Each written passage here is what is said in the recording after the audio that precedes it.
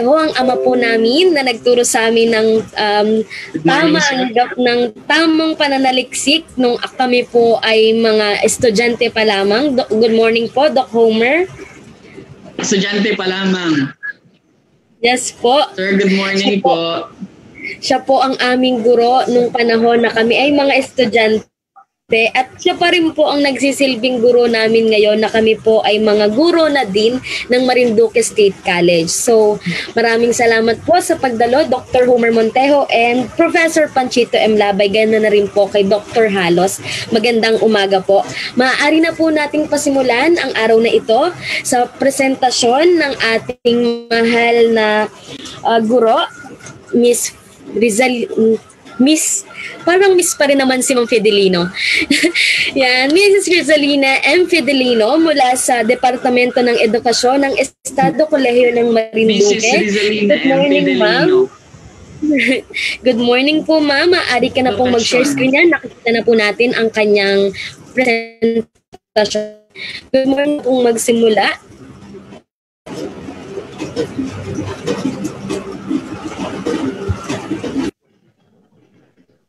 Good morning, ma'am.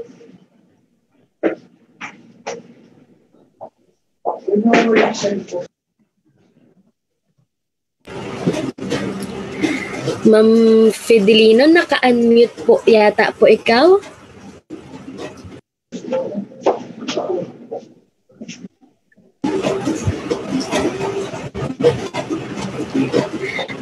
Ma'am Fidelino, Hello, ma'am. um, yung mic mo po yata po ay hindi po um, okay pa po.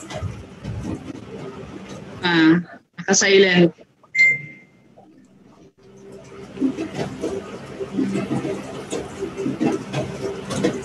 Hello, ma'am? Yung mic po yata ni Ma'am Fidelino, Fidelino yung kanyang mic. Bukas yung video ko. Kaya ka.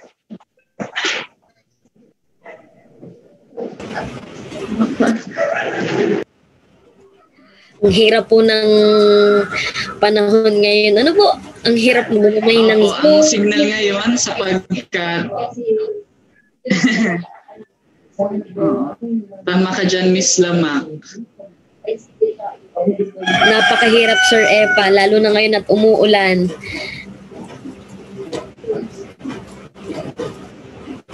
Yan. Ay, Siguro po inaayos ko po. Fidelino. ano, medyo hirap tayo sa signal Opo, sir. ngayon. Ayan. Itatawid po natin ito sa awa ng Diyos. Okay, Patuloy lang muna natin. Siguro. Pwede na kaya tayong... Opo. Ah, O baka may live po tayo sa, sa Facebook, sa ICT. Good morning po sa ating lahat. ICT. Yan. Hello, Ma'am Fidelino.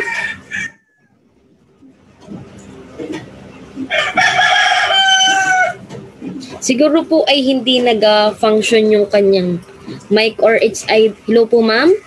Pwede mo pong pwede ka po ma'am mag-test audio po. Nakalagay po diyan sa may tabi po ng mic. Pwede mo pong ayusin ang setting para po maging maganda po ang maging daloy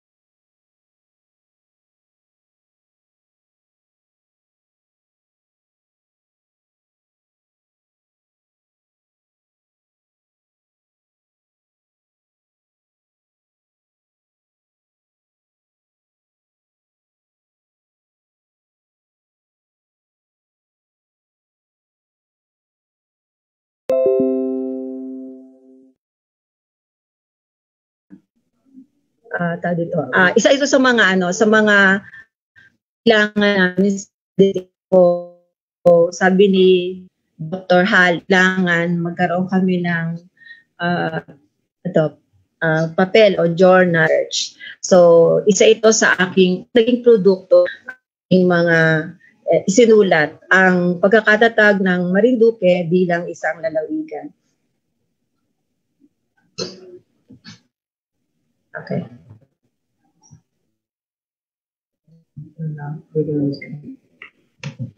Okay.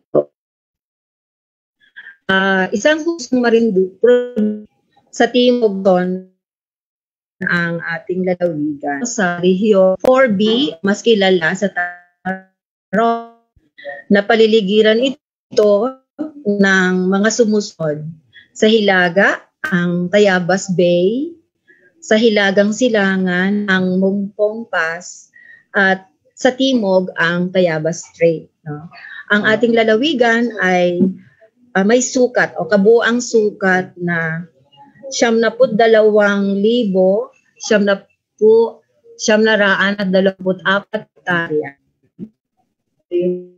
Yun yung mapa ng Marinduque. Ganyan lang tayo kaliit. Alam ng lahat tayo ng anim na bayan. Na bayan, ang kapito natin ay Buwak. So, bukod sa Buwak, andyan ang Mugpog, Buenavista, Santa Cruz, at Torrijos. Ah, tanyag ang ating lala sa More Festival. Ah, Lenten season. O mahal na araw.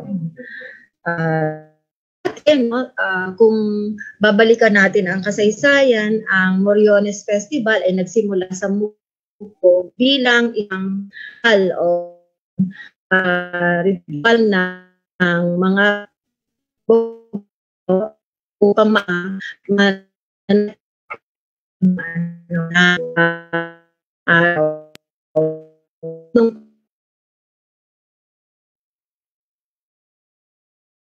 uh, is attraction lang kasalukuyan. Okay?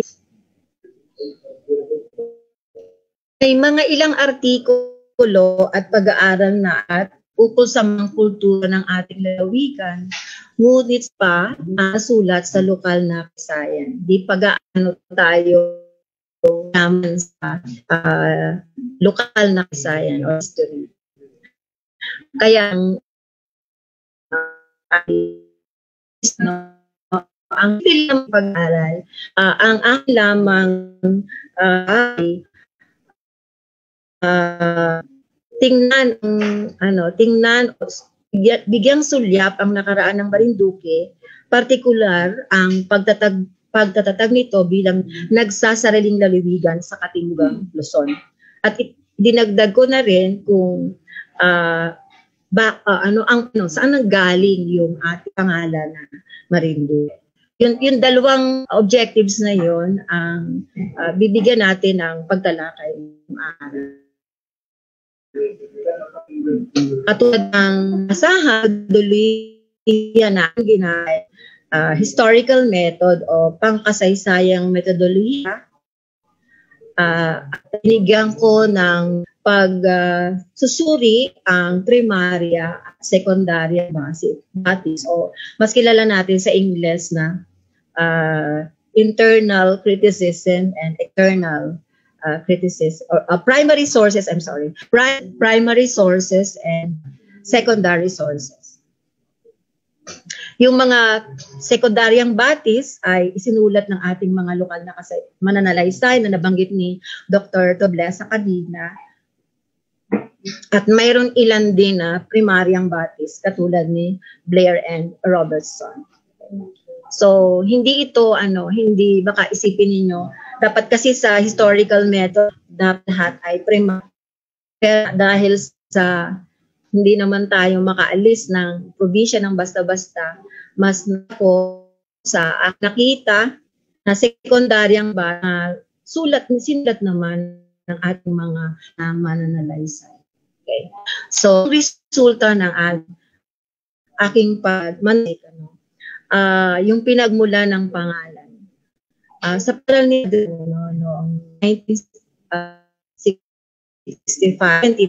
Kasi dalawa yung sinulat na ah, ano, dalawa yung sinulat na aklat ni yung isa ay 1975, yung isa ay 1963.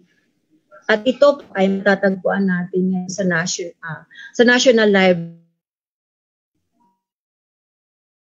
Ito na ah, sabi niya, sabi ni Madrigal,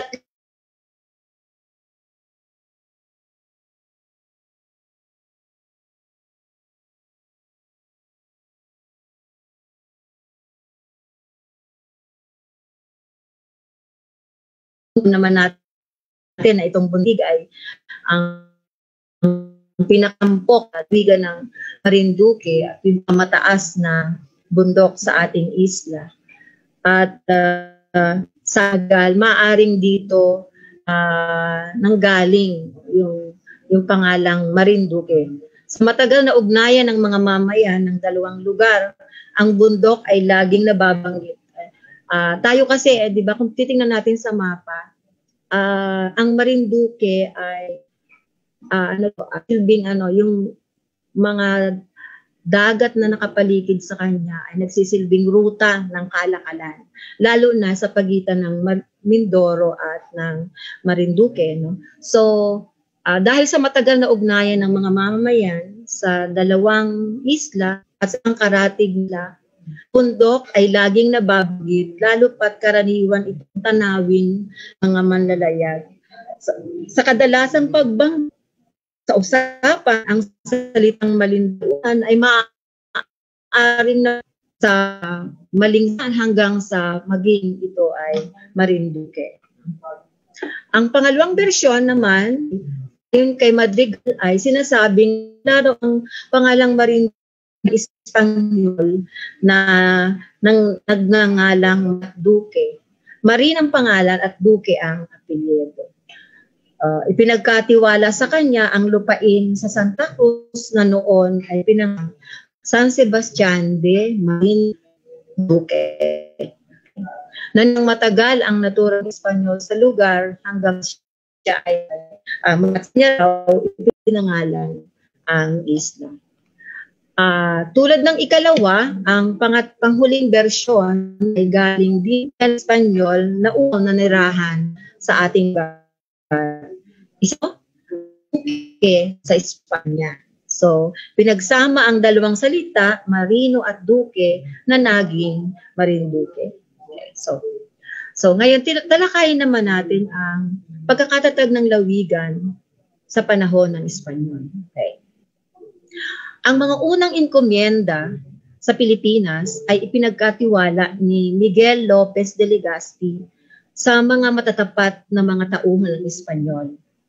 Ayon sa ulat ni Hernando Riquel, puntaryo publiko ng Maynila noong October 31, 1571, ang islang Banton at Marinduque ay itinalaga kay Pedro Mena. So, So Banton o yun yung ano yung ng Romblon ano at Marinduque. So yan ay nasa papangangalaga. Isa siyang inkomyenda sa ilalim ng pamamahala ni Pedro Mena.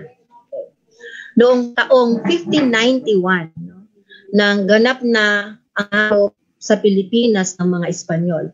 Tandaan nyo, uh, uh, umpisa tayo, formal tayong sinakop ng Espanyol simula 1565. At at yung kabuang pananako ng buong archipelago ay naganap ng 1591. Nang ang kapuluan uh, ay hinati sa mga lalawigan. So, nagsimula ng 1591, hinati ang mga kapuluan sa mga lalawigan. Ang lalawigang ito, uh, ang Kalilaya, ang isa sa mga ito. Ang lalawigang ito ang sumasakop sa Mindo, ang ni Marinduque. So yung buong uh, lugar na yan, dyan Kalilaya, at uh, ng Kalilaya, dyan ang uh, lalaw, ang lalaw ng Marinduque. Sa huling aging uh, na taon, dan taon, da, o ang natin, Duque, ay isinailalim na naman sa bahala ng probinsya ng Bantang. Bantang ay nagsarili at ah, sa pagsasarili niya, ipinailalim tayo sa Batangas. So, no- noong huling bahagi ng ikalaabing anim na taon. Sa, sa unang bahagi naman ng ikalabing pitong daan taon, ang isla ng Mindoro ay inihiwalay sa probinsya ng Batangas. Itinatag ito bilang isang korehimiento, kung natatandaan pa yung Philippine history nyo, no? korehimiento at ginawang bahagi ito nito ang Marinduque. So, from Galilaya, napunta tayo sa ah,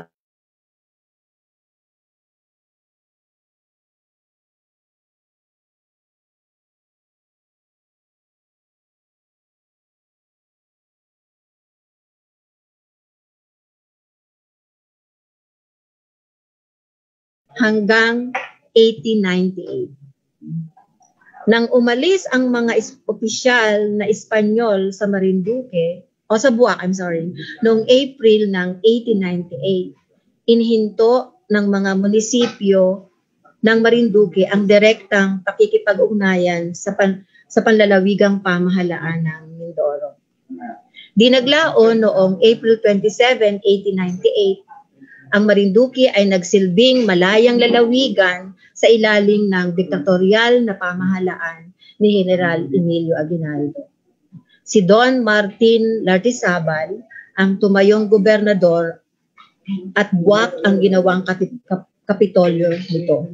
Ngunit ang kalayang ito ay hindi nagtagal sapagkat sumuko ang mga revolusyonaryong Pilipino sa mga Amerikano na naging hudyat sa panibagong pananakop sa pagsasabatas, so nung panahon ng Amerikano, nagkaroon ng na nagkaroon ng batas na Municipal and Provincial Acts na ito ay ah, isinabatas ng Philippine Commission o yung ikalawang komisyon ng Pilipinas. Ipinatupad ang pagtatatag ng mga probinsya at munisipyo sa buong bansa. So, noong June 23, 1902, ang dating lalawigan ng Mindoro ay ipinasailalim sa probinsya ng Marinduque. Matapos ang limang buwan, muling itinatag na espesyal na lawigan ang Mindoro. Okay. Sa bisa ng Act 499 ng Komisyon ng Pilipinas noong November 10, 1902, ang Marinduque ay isinama at ginawang bahagi ng Quezon. Si Don ah, Don Ricardo Paras Sr. ang pinuno noon, naging pinuno noon. Ang itinalagang lieutenant governor sa isla ng ng ah, gobernador civil general ng Pilipinas, si Go- Don Ricardo Paras, ang ginawang lieutenant governor sa ating lalawigan. Nagsilbi si Paras hanggang March 3, 1904. Sa bayan sa, sa bayan siya ng Buwak ah, nanirahan at naglingkod. Makaraan ng ilang taon, noong Mayo 17, 1907, sa pamamagitan ng Philippine Commission Act number 1649, ang Marinduque ay itineklarang kanugnog lalawigan o sub-province ng Tayabas o ngayon ay Quezon. Hanggang sa pagsapit ng taong 1920, isang batas ang pinagtibay ng Philippine Legislature Act number 2882 na naglikha sa Marinduque bilang isang hiwalay na lalawigan. Okay.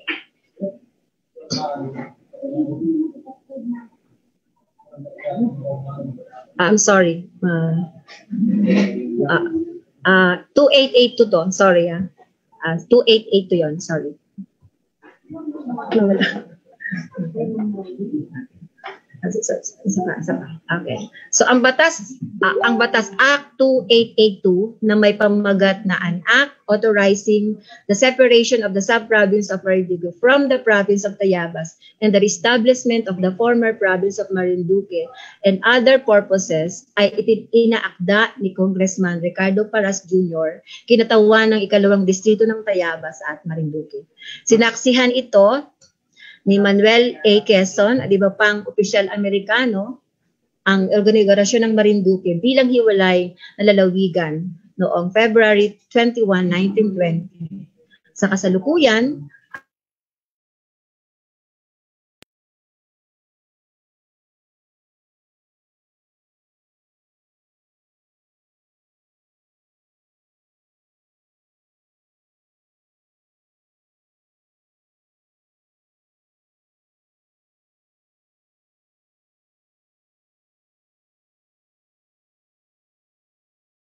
umabot ito ng daang taon.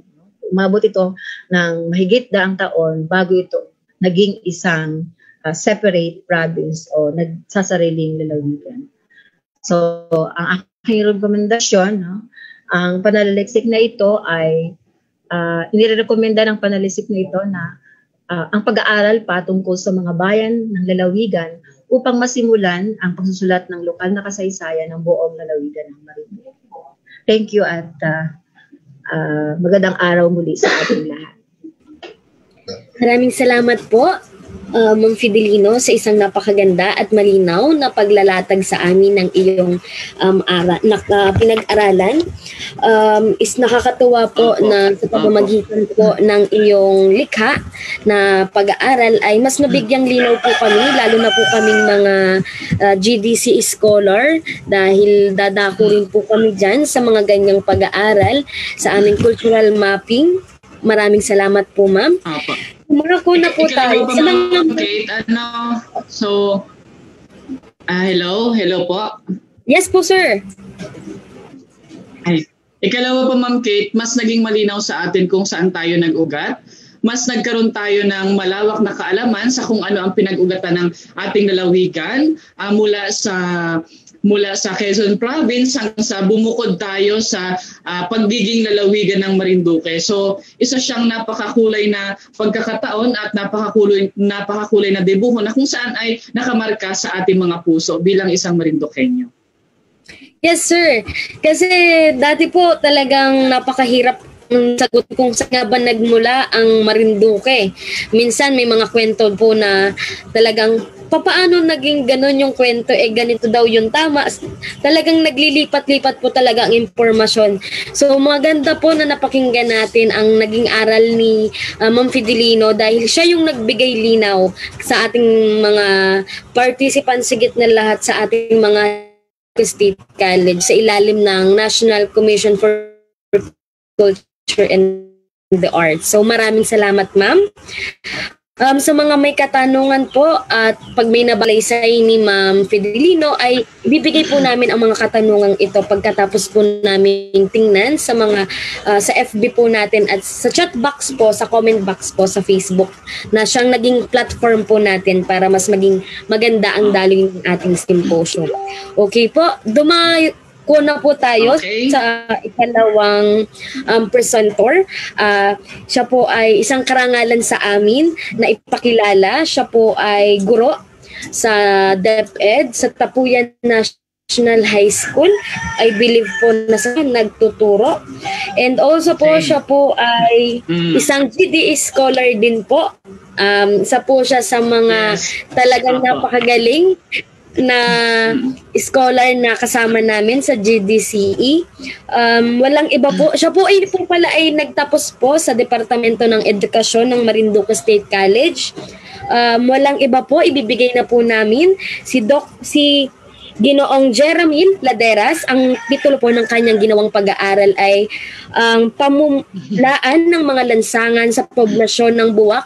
I believe po na si Sir Jeremy din po ay naging, um, anong tawag po ba dito, naging judge, naging panelist po sa Inverga sa Lucena at sa galing po niya sa pananaliksik at nakakatuwa po na siya ay nagmula sa Estado Kolehiyo ng Marinduque. Sir Jeremy, good morning po. Good morning, sir. Magandang umaga po.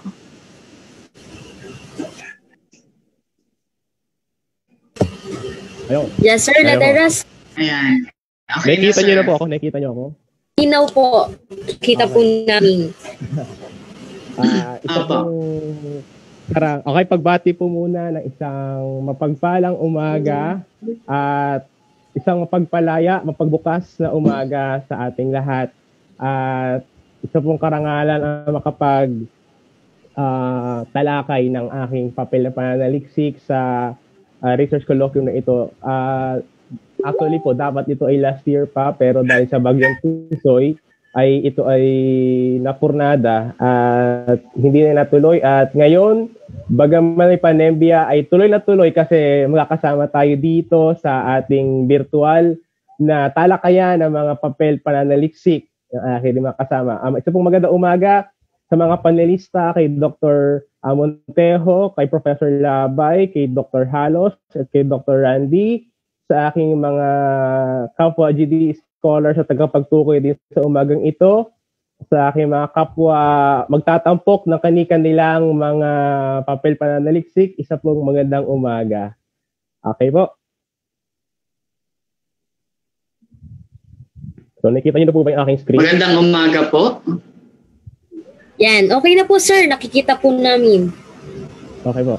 Ang akin pong ah, papel pananaliksik na itatampok sa umagang ito ay pamagata pamulaan ng mga lasangan sa buwag implikasyon sa ating kasaysayan. Ah, it, ako, ito pong karangalan na makapanaliksik ng ah, ah, paksang ito sapagkat ito'y naibigay din sa akin last year ni Dr. Halos. Ah, good morning po, Dr. Halos. At ito po ay masasabi kong pananaliksik na napakabilis. Ah, baga, pero nadugtungan na isaayos dahil sa pagkakaudlot na isaayos ko ito na tapos ah, may mga paglilinaw rin akong na ah, gawa dito sa pananaliksik na ito. Okay po? So, mahalaga ang mga lansangan sapagkat ah, ito po ay nagpapanatili ng kaisahan, kasaysayan at maging kultura ng bansa. Ah, ah, maliban sa mahalaga ito bilang pantukoy ng dalamin ang kaayusan ng isang lugar o ng isang ah, ah, bayan ah, sa pinakamalawak na konsepto na aking naisip parating.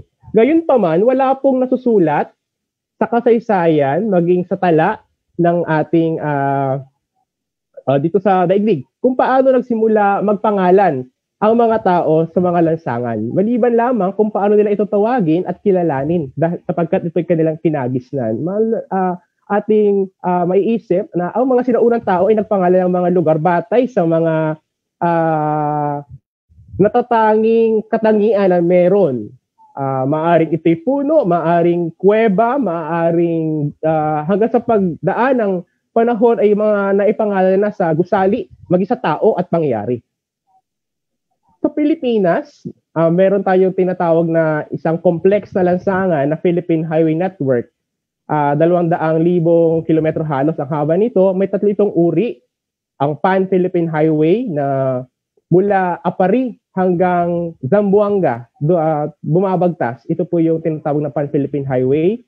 Meron tayong tinatawag na M59 o mga primaryang pambansang kalsada at ang ikatlo ay ang sekundaryang pambansang kalsada. Ah, pero gayon pa man, walang formal na tala ang DPWH o ang kagawaran ng mga pagawaing lansangang pambayan kung ilan ang mga lansangan sa bansa at ilan din ang mayroong pangalan.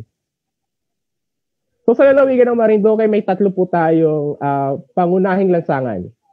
Ang Marinduque Circumferential Road, ito po yung bumabagtas sa paikot, paikot sa ating lalawigan. Ikalawa, ang Balanacan Mogpog Road.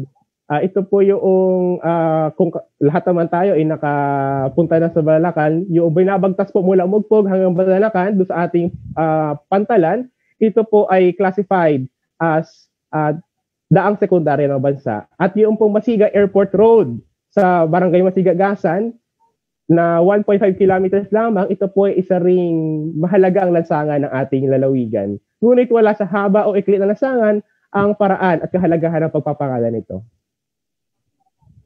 Ah, ang akin pong uh, pananaliksik ay nakatuon sa mga lansangan sa poblasyon ng Buwak. Kung inyo pong maisip, maisip ano, ah, bakit ako nagtuon sa mga lansangan sa poblasyon ng Buwak? Sapagkat tanging ang mga lansangang bumabagtas sa loob ng isang poblasyon o yung kabayanan ng lalawigan ang may mga natatanging pangalan. Mamaya i-discuss ko po ah, ano yung kaibahan ng mga pangalan ng lansangan sa poblasyon sa ah, mga barangay na hindi sakop ng poblasyon. At ito po mga lansang ito ay bumabagtas o bumabaybay sa walong barangay ng bayan ng Buwak. At pawang ang mga kalye o lansangang ito ay nagtataglay ng kani-kanilang mga pangalan na may mga mahalagang pamulaan o pinaghaguan. Tulad ko nasabi ko kanina, ang lansangan po ay pananda ng kasaysayan at kultura. Mayaman po ang ang ibinibigay na kasaysayan ng ating mga kasada. Marahil ang mga may alam lamang po talaga ay yung mga uh, historiador, ang mga mananaliksik na nakatuon sa toponomiya. Kapag sinabi po nating toponomiya, ito yung pag-aaral ng uh, pinaghanguan ng mga pangalan ng maaring bansa, maaring uh, lugar, gusali, uh, tulay, at yung akin po pag-aaral, ang mga lansangan. Ang kanilang mga pangalan po ay tumutukoy sa kapanatilihan o ayos o order. Naglalawan po ito sa katangian at kaligiran ng puok. At higit sa lahat, nagpaparangal po ang mga lansangan sa kaganapan at mahalagang personalidad na may kinalaman sa lugar na yon. Uh, sa mga pook rural po, kung nyo mapapansin, ano sabi ko kanina, walang uh, definite o walang ganap na pangalan uh, ang mga nakatira po doon, mga ninirahan doon, ay ginagamit lamang ito bilang gamit pananda o marker na may kaugnayan sa natanging katangian nito. Halimbawa po, uh, kapag po kayo ay sumasakay sa tricycle, nakita nyo doon, ano, halimbawa, Barangay Bantad, Dap Dap 3. Ano po? Ibig sabihin, gamit pananda ay hindi pangalan ng kalsada, kundi yung pangalan ng isang natatanging katangian nung lansangan na yun. Maaring puno. Ano po?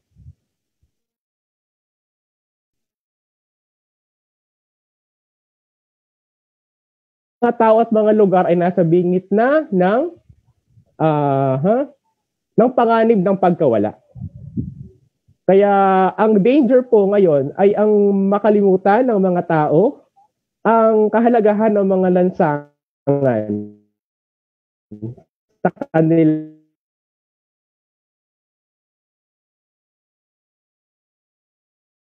ilang mga bayan-bayan. Kilanlan kung kanino po nanggaling yung uh, pangalan ng mga nasangat at yung kahalagahan nila sa ating kasaysayan.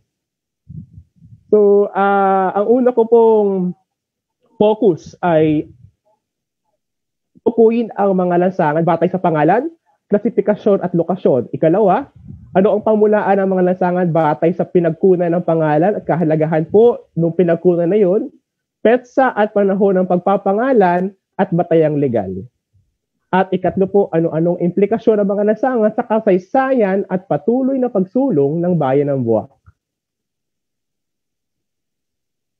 So mahalaga po ang ang pag-aaral na ito sa lokal na pamahalaan ng buwak, sa institusyon ng mga edukasyon, sa mga mag-aaral kabataan, sa mga personalidad kung kanino kinuha ang mga pangalan, sa mga lokal na maninirahan, sa mga residente, sa mga lokal at banyagang dayuhan, at maging sa mga manaliksik sa hinaharap. So, ang uri at disenyo po aking pag-aaral disenyong kwalitatibo lamang. Ito ay nasa dulungan descriptive sapagkat aking nilarawan lamang sa magitan ng pagkonsulta sa mga uh, sanggunian para mailaraw at mailahad ang pa- pamulaan ng mga lansangan. At ikala- ikalawa po, ang dokumentaryong, dokumentaryong at kibal ang pangalat ng mga talang pangkasaysayan mula sa mga pangunahing sanggunian. So, ang respondente po ng aking pag-aaral ay tatlo. Ang opisyalis po ng DPWH Marinduque na pinuntahan ko sa Bangbangalon Buwak last year, ang Municipal Planning Development, Development Office sa Isokwan Buwak na aking pong pinuntahan, sinadya, at maging sa uh, puno po ng Municipal Tourism Office na nasa Casa Real sa Malusak, Buwak. Lugar pa naliksik, kung ako po inyong napansin, last December 2019, sa kahabaan ng mga lansangan sa Buwak, at ako po'y kumukuha ng mga larawan, pumupunta ako, kani-kani nagtatanong, ako po yon Ano po? So, doon po tayo sa kinalabasan at pagtatalakay ng aking pag-aaral. Ah, uh, dalawa lamang po. O sabihin kong ito po yung pangunahing sanggunian na aking kinonsulta. Ang rebisadong alituntunin sa pagpapangalan at pagpapalit pangalan ng mga kalsada, pampublikong lugar, liwasan, gusali, tulay at iba pang mga pampublikong istruktura na mula po sa alituntunin inilabas ng National Historical Commission of the Philippines o NHCP. So may batayang legal po ang pagpapangalan. Hindi po basta-basta nagpapangalan.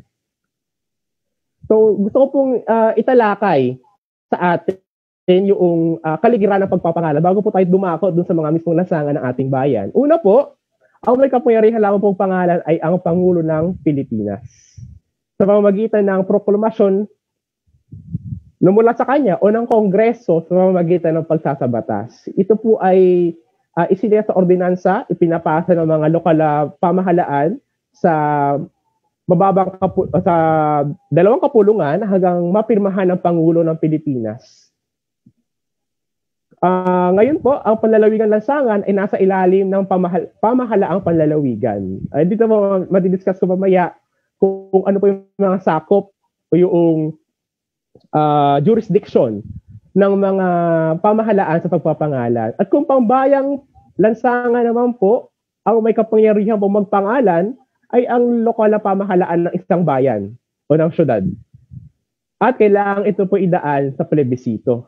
Sa botohan po maaring kumonsulta ikatlo sa NHCP. Kasi po kanilang i-review o re-reviewin yung uh, katangian ng pinagkunan ng pangalan. Maaring ito ay tao, uh, bagay, uh, pangyayari para uh, maratapikahan po ng NHCP ang pagpapangalan. Ikalawa po, ang pagpapangalan sa lansangan ng Pilipinas kung ma- kung meron naman pong babaguhin o bibigyan pangalan, halimbawa yung nasangan wala pang pangalan, maaring ito po ay isagawa ng lokal na pamahalaan. Tulad sa ko kanina sa isang plebisito o isang ordinansa ng sangguniang uh, pambayan. Doon po tayo sa katangian. Hindi po basta-basta tayo nagpapangalan ng lansangan o gusali o anuman. Unang-una po, kailangan mahalaga ang kanyang ambag sa kasaysayan at kultura ng isang lugar.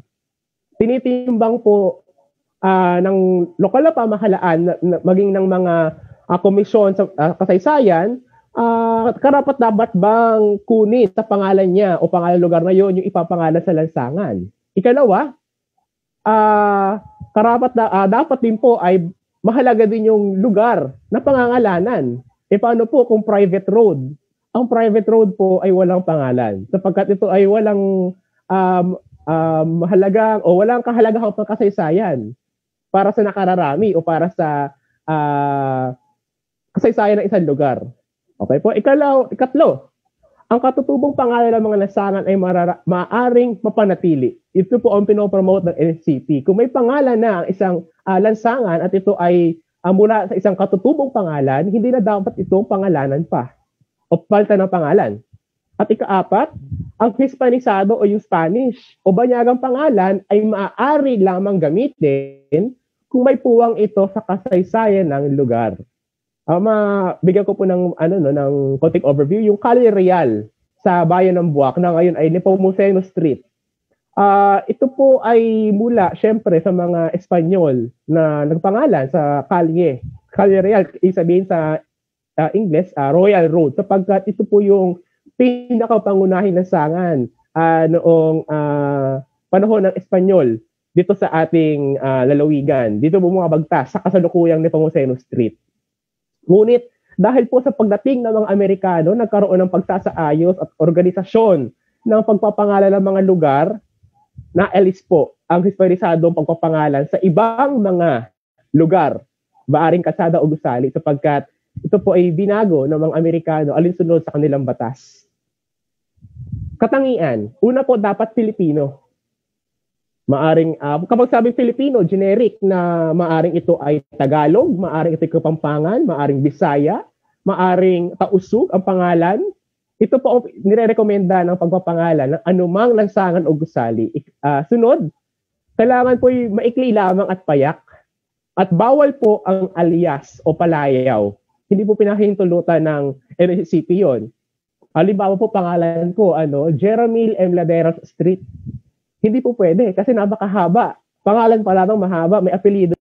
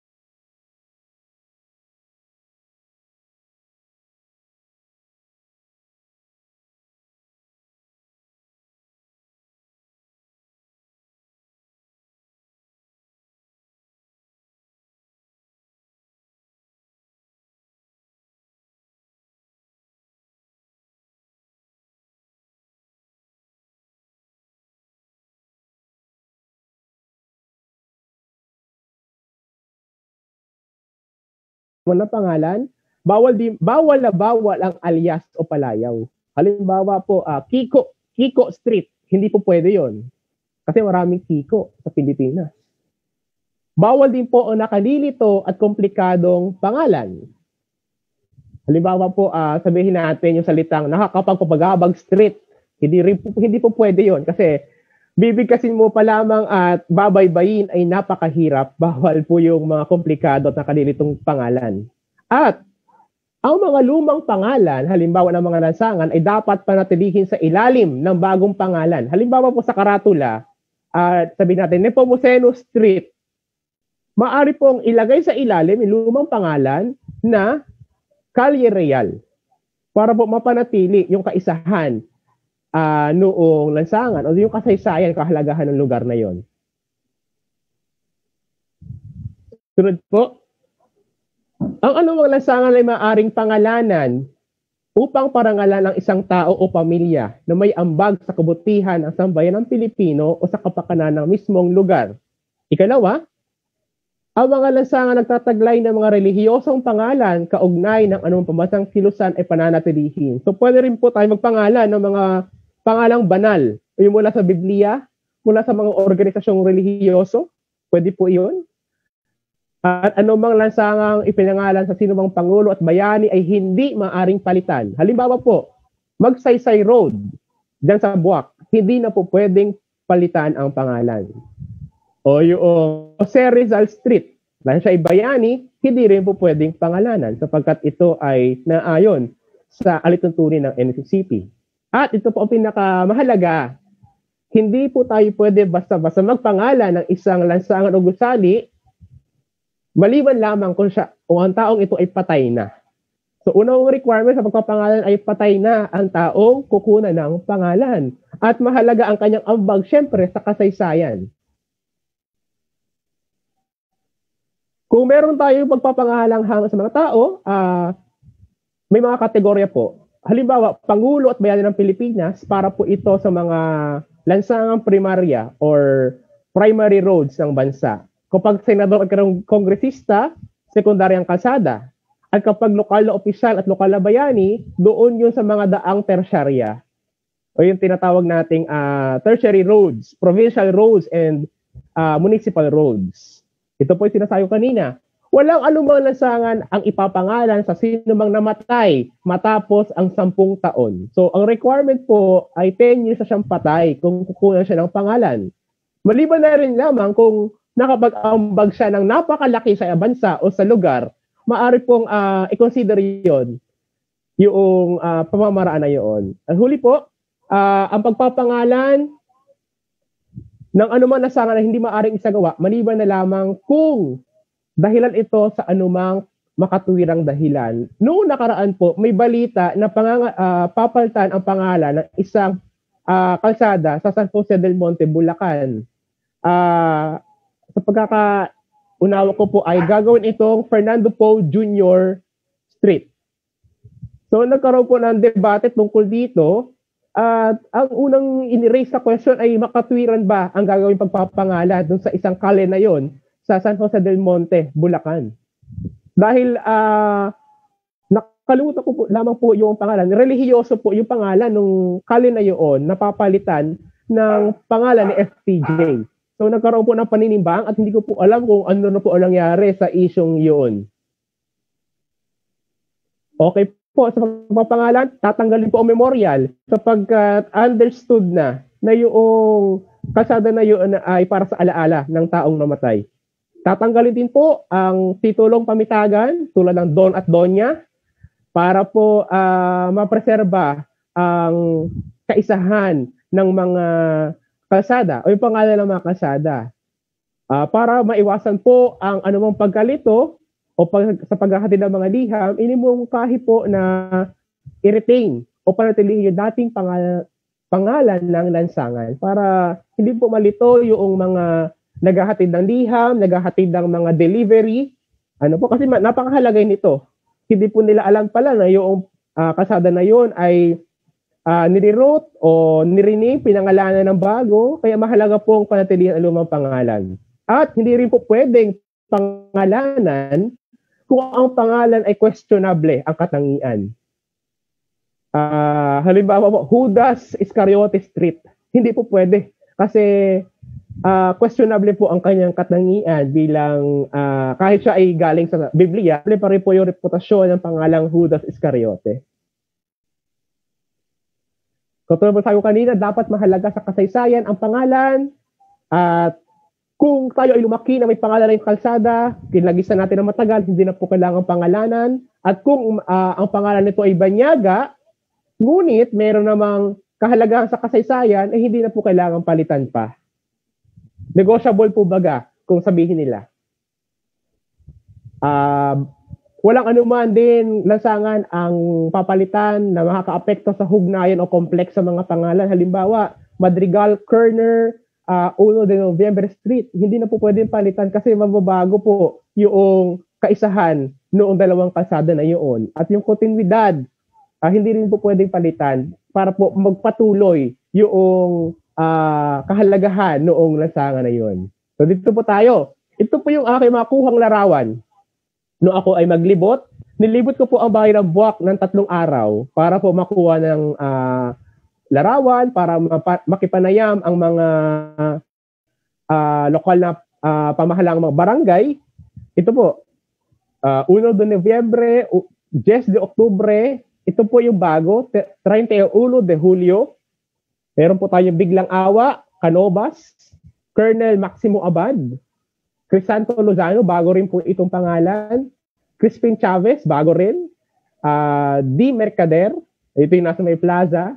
Daang Santa Maria, ito uh, meron pong uh, malawak pong tatalakay dito. Deo Gracias, ito po yung sa may Box Hotel sa baba ng simbahan. Del Mundo, ito po yung sa may BFC at Bangko. Dominador Leonida, bago rin po ito. Esquinita de Palenque, uh, may malawak din po pagtatalakay ako mamaya. Esquinita de los Mariones, ganoon din po. Ang G de la Santa Street, ito po yung sa may Moralion, sa may Macbeth doon, na tindahan. G Nieva, ito po yung uh, sa may creek diyan sa Moralion. Governor D. Reyes, ito po yung pagbabawo ng simbahan. Diretso yon Governor D. Reyes Street. El Hidalgo o Luis Hidalgo Street sa, sa loob po ng Isukwan. Lardy Zabal, ito po yung sa may lutuhan, doon sa may art cafe na bagong tayo dyan sa may San Miguel. Meron din po tayong Livelo Street, yan sa may LBC at Globe sa Moralion. M. Casilag dito po sa amin sa Tampus, ang pinakamahabang lansangan po sa poblasyon ng Buwak. Makapukay Street, ito po yung napakakitid na kalye diyan sa may baba ng simbahan. Badla Street, ito po yung sa may uh, kapilya diyan sa Isukwan. Madrigal Street, ito po yung sa may pa, uh, paikupoy pupunta diyan sa may ABC, uh, sa may Don Luis. Magsaysay Road, ito po yung mula sa uh, tulay ng tabi hanggang sa pagliko ng pamintuan diyan sa Isukwan. Malvar Festing, bago rin po ito, pata- paakyat ng Iglesia ni Cristo. Melendez, sa may ABC po, Moreno, ito po yung sa may Blue Building. Morion Arena Access Road, ito po ay uh, pangalan mula sa Google Maps Convention. Municipal Hall Access Road, galing din po ito sa Google Maps, Real ng Buwak. Pamintuan, ito po, uh, naalala ko po nung ako'y college pa, hello po kayo Fidelino, habang ako po ay nagbabrowse sa Google Maps, sabi sa akin ni Mama, nasaan dyan ang Pamintuan Street, taga doon ako. At ito po yung larawan ng Pamintuan Street. Meron din po tayong Pilar Hidalgo, papasok ng Isok 2, pero, pero Isok 1 pa po yan. Quezon Street, ito po yung dyan sa may dating Girl Scout, hanggang dyan sa may putol ng munisipyo, San Miguel Street, paakyat ng simbahan, Chofilo Roque Street. Ito po ay bago ring pangalan. Akala ko po, akala po kasi na karamihan yung Tomas Roque Street na nasa Marinduque National High School ay yung Chofilo Roque. Pero nauna po ang Tomas Roque. At huli po, Trevino Street sa tapat ng Pure Gold, dyan sa mural yon. Sa akin pong pangangalap, may 39 o 30 siyam na mga lansangan sa poblasyon ng Buwak. At lahat po ay may pangalan. So lokasyon, Ah, minapa ko po ang mga kalsadang ito at lahat ay bumabagta sa lahat ng mga barangay. Malusak, Mataas na Bayan, Merkado, Moralion, San Miguel, at dito po sa amin sa Tampus. So may classification po. Ah, kung sa ordinaryong tao, para sa kanya ang kalsada, lansangan, kalye ay iisa, pero may mas malawak po na pagbibigay definition dito. Kapag po kalsada o road sa English, ito po ay may pinakamahalagang function sa paggalaw ng isang tao o ng isang transportasyon. Ang magsaysay road po kasi ay pangunahing daanan. Pinaka-pangunahing daanan ng ating national road dito sa Marinduque, dito sa Buwak. Ang Morian Access Road po naman ay mahalaga sapagkat ito po yung umuugnay sa ating pugutan site. At yung Municipal Hall Access Road, dito po tayo dumadaan pag pupunta po tayo sa munisipyo. Ganito po magbigay ah ah, ng definisyon ang mga modernong ah, mag, mag-aaral at mananaliksik. Kapag po kalye, mas maliit po sa kalsada. Ano po? So marami pong kalye dito sa ah, sa Buwak, sa ating bayan. Okay po. At ito po, Eskinita o yung ali. Ang Google Maps convention po kasi ay may sariling uh, alituntunin sa pagpapangalan ng mga kalsada rin. Halimbawa po ang Eskinita de Palenque at Eskinita de Los Moriones. Mula sa salitang palengke, sapagkat ito po yung makinig na daan nag-uugnay sa pangunahing kalsada patungo sa palengke at yung de Los Moriones po to sa ating Morion Arena. Batay sa DPWH po, may tatlo lamang na definition. Una, yung pula po, uh, Nepomuceno Street, Deo Gracias at M. Casilag. Ito po yung pambansang tersyarya. Ang Governor D. Reyes, Magsaysay, Mercader, Pamintuan, Quezon, San Miguel. Ito po yung uh, Pandalawigan Lansangan o Provincial Road. At lahat po ng berde sa mapa, ito po yung tinatawag na Pambayang Lansangan o municipal road. Ang barangay road po ay walang pangalan. Batay sa RCP. Pero, kung ano po yung kinagisa, halimbawa, uh, Tabi Balogo Road, accepted po iyon ng Google Maps Convention at ang NHCP sapagkat may alituntunin kung ano yung kinagisang pangalan ng isang lansangan ay ipananatilihin para magkaroon ng kaisahan at kaayusan. So dumako po tayo dito, pamulaan. Okay po. Uh, hindi ko na po ito i-discuss na napakahaba. Uh, magkakaroon lang po tayo ng overview. Ano. Uh, halimbawa po, ang 10 de Oktubre at 1 de Nobyembre ipinangalan mula sa uh, makasaysayang petsa. Oktubre 10, 1987. Nobyembre 1, 1897. Ito po ay mahalagang pangyayari na may kinalaman sa pananalakay sa kasarian. Ano po, kung aking mga babahagi lamang, nagkaroon dito ng uh, raid mula uh, na pinangunahan ni Fabian Medinilla at Basilio Mendez upang uh, i-rescue, iligtas yung mga nabihag sa kasarial. Ngunit ang nangyari po, nagkaroon ng ambush, napatay sila. Yung iba po pinaanod sa ilog, buwak. Yung iba ay hindi na alam kung saan inilibing. Uh, yung iba po nilibing sa Cemetery de Tampus. Uh, ito po ay isang malaking kaganapan sa kasaysayan ng ating bayan ng Buwak. Kaya ipinangalan po. Ngayon din po yung 30 o yung 31 de Hulyo na ipinangalan mula sa makasaysayang labanan sa Paye. Hulyo 31, 1900s. Ngayon mo biglang awa, ipinangalan sa patronesa ng Diocese ng Buwak. Canovas, mula sa unang uh, mula sa isang punong bayan ng Buwak, Fernando Canovas wala po akong larawang makuha. Ganyan din po kay Colonel Maximo Abad, sa Lieutenant Colonel ng Bayani, o Bayani rin siya na labanan sa Punalupa noong 1900s. Crisanto Lozano, Crispin Chavez Street, sila po ay pawang uh, ikalawang tenyente noong labanan ng Paye. Doroteo Mercader, siya po siya sa mga ah, punong bayan noong panahon ng Amerikano na may kinalaman sa mga ah, larong politikal dito sa bayan ng Buwak.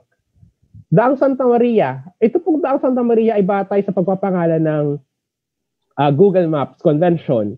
Isinama ko na rin po ito para ah, magkaroon tayo ng kaisahan. Bagaman ito po ay bahagi ng Pamintuan Street. Pero ito po ay pinuputol mula paakyat ng St. Mary's College of Marinduque. Kaya po napangalanan ito ng Daang Santa Maria. Deo Gracias, isang isa rin sa mga punong bayan ng Buwak. Toma, Don Tomas Don Tomas del Mundo, isa rin sa mga punong bayan ng Buwak. Dominador Leonida, isa rin punong bayan ng Buwak. Katulad na ko kanina, Escalita de Palenque, uh, Escalita de los Mariones, ipinangalan mula sa Palenque at uh, kultura at tradisyon ng Marinduque. Uh, G. de la Santa Street, uh, isa rin siya sa mga punong bayan ng Buwak noong, noong panahon ng Amerikano. Isa siya sa mga tenyente ng uh, Second Company Infantry Battalion noong Battle of Paye. Gineva Street, isa po siyang politiko, negosyante at manunulat noong panahon ng Amerikano. Kinatawan din siya ng Marinduque sa First Philippine Independence Mission sa Amerika. At uh, manunulat din po siya sa Philippine Review Magazine. Kauna-una ang Filipino Rotarian at isa sa mga naging tagapagtatag ng Rotary Club of Manila. Napakahaba po na listahan ng kanyang uh, record o tala. Governor Damian Reyes Street, Gobernador ng Marinduque, uh, noong paglaya ng Marinduque noong 1925 to 1921, ikatlo sa gobernador. Nardizabal, isang gobernador, politiko-militar, noong 1898-1901. Ito po ay panahon ng uh, pagtatapos ng panahon ng Espanyol at pagbubukas sa panahon ng Amerikano dito sa ating bansa. Kumandante po siya ng puwersa ng himbagsikang Marinduqueño noong ikalawang digmaang pandaigdig. Livelo, mula kay Lucio Livelo na pulong bayan ng Buwak, ito, El Hidalgo, Luis Hidalgo, kapitan municipal ng bayan ng Buwak. Siya rin po ang nag-donate ng lote ng Don Luis Hidalgo o mas kilala noon bilang Buwak North Central School. At yung pong kanyang barko na Vapor de Buwak ang isa sa mga transportasyon upang mapuslit ang mga sipi at dokumento ni Rizal mula Manila patungo sa Marinduque. M. Kasilang, ito po, kauna-unahang civil engineer sa Pilipinas ay galing sa Marinduque, galing po sa Buwak. Siya po ang nagtatag at naging tagapangulo ng Philippine Society of Civil Engineers. Una po siya sa talaan ng PRC Registry of Civil Engineers. Number one, top notcher po siya, number one sa civil, uh, sa licensure examination para po sa mga civil engineers. So kanyang kapanganu, uh, kapanahunan Uh, siya po ang ama ng ating mu- uh, National Music for Artists o National Artist for Music na si Lucrecia Casilag. At uh, yung kanya pong mga huling uh, buhay ay kanyang uh, inilagi sa Mindanao at Sulu bilang commissioner noong panahon ng Amerikano. Makapugay Street mula kay Leon Makapugay na dating konsehalang bayan ng Buwak. Madla. Uh, mapapansin po ninyo walang tala kay Madla sapagkat may conflict po mula sa pinaghanguan, marami pong mga suggestions yung mga kapamilya po ng mga madla dito sa Buwak. Ang dami ko po nila Peter at iba-ibang pangalan ang kanilang binanggit. At sa archives naman po ng munisipyo ay hindi mahanap kung sino po yung madla na tinutukoy. Madrigal, Don Pedro Madrigal. Uh, Lieutenant Governor, uh, mula 1916 hanggang 1919. Uh, Kongrepo ang kanyang pangalan noong digmaang Pilipino-Amerikano. Siya rin po ang nagtayo ng unang butika sa lalawigan ng Marinduque na nasa Buwak, ang Butika de Buwak. Dahil ang mga Madrigal po ay isa sa mga kilalang mayamang pamilya noon, uh, sila po, o siya po ang nagtatag ng unang butika. Magsaysay. Ay uh, pinangalan po ito sa ating Pangulo sapagkat siya po ang pumirma para maitalaga ang Marinduque Forest Reserve na nasa gitna po ng ating lalawigan. Uh, wait lang po ha, excuse lamang po.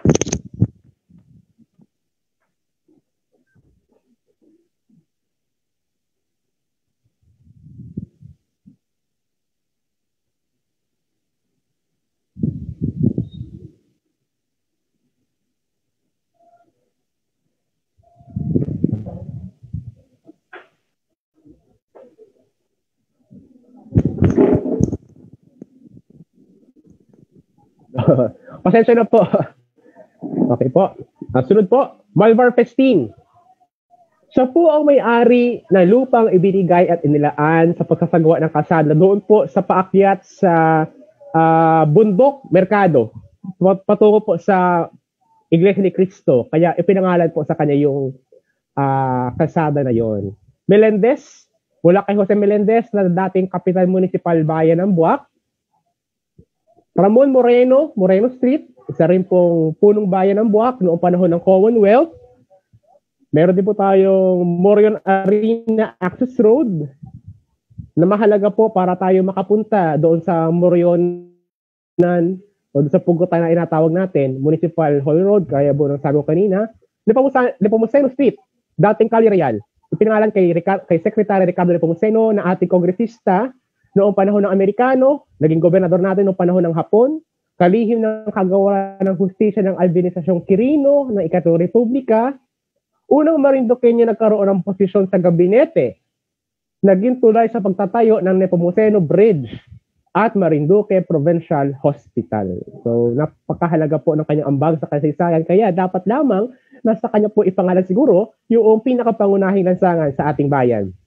Pamintuan. Meron po ditong question mark sapagkat may conflict din po sa paghahalungkay o paghahalungkat ng pinaghanguan ng pamintuan. May nagsasabi po kay Engineer Ferdinand Pamintuan na National Energy ah, Acting General Manager na may dahilan din po kung bakit nagkaroon ng kuryente sa Marinduque.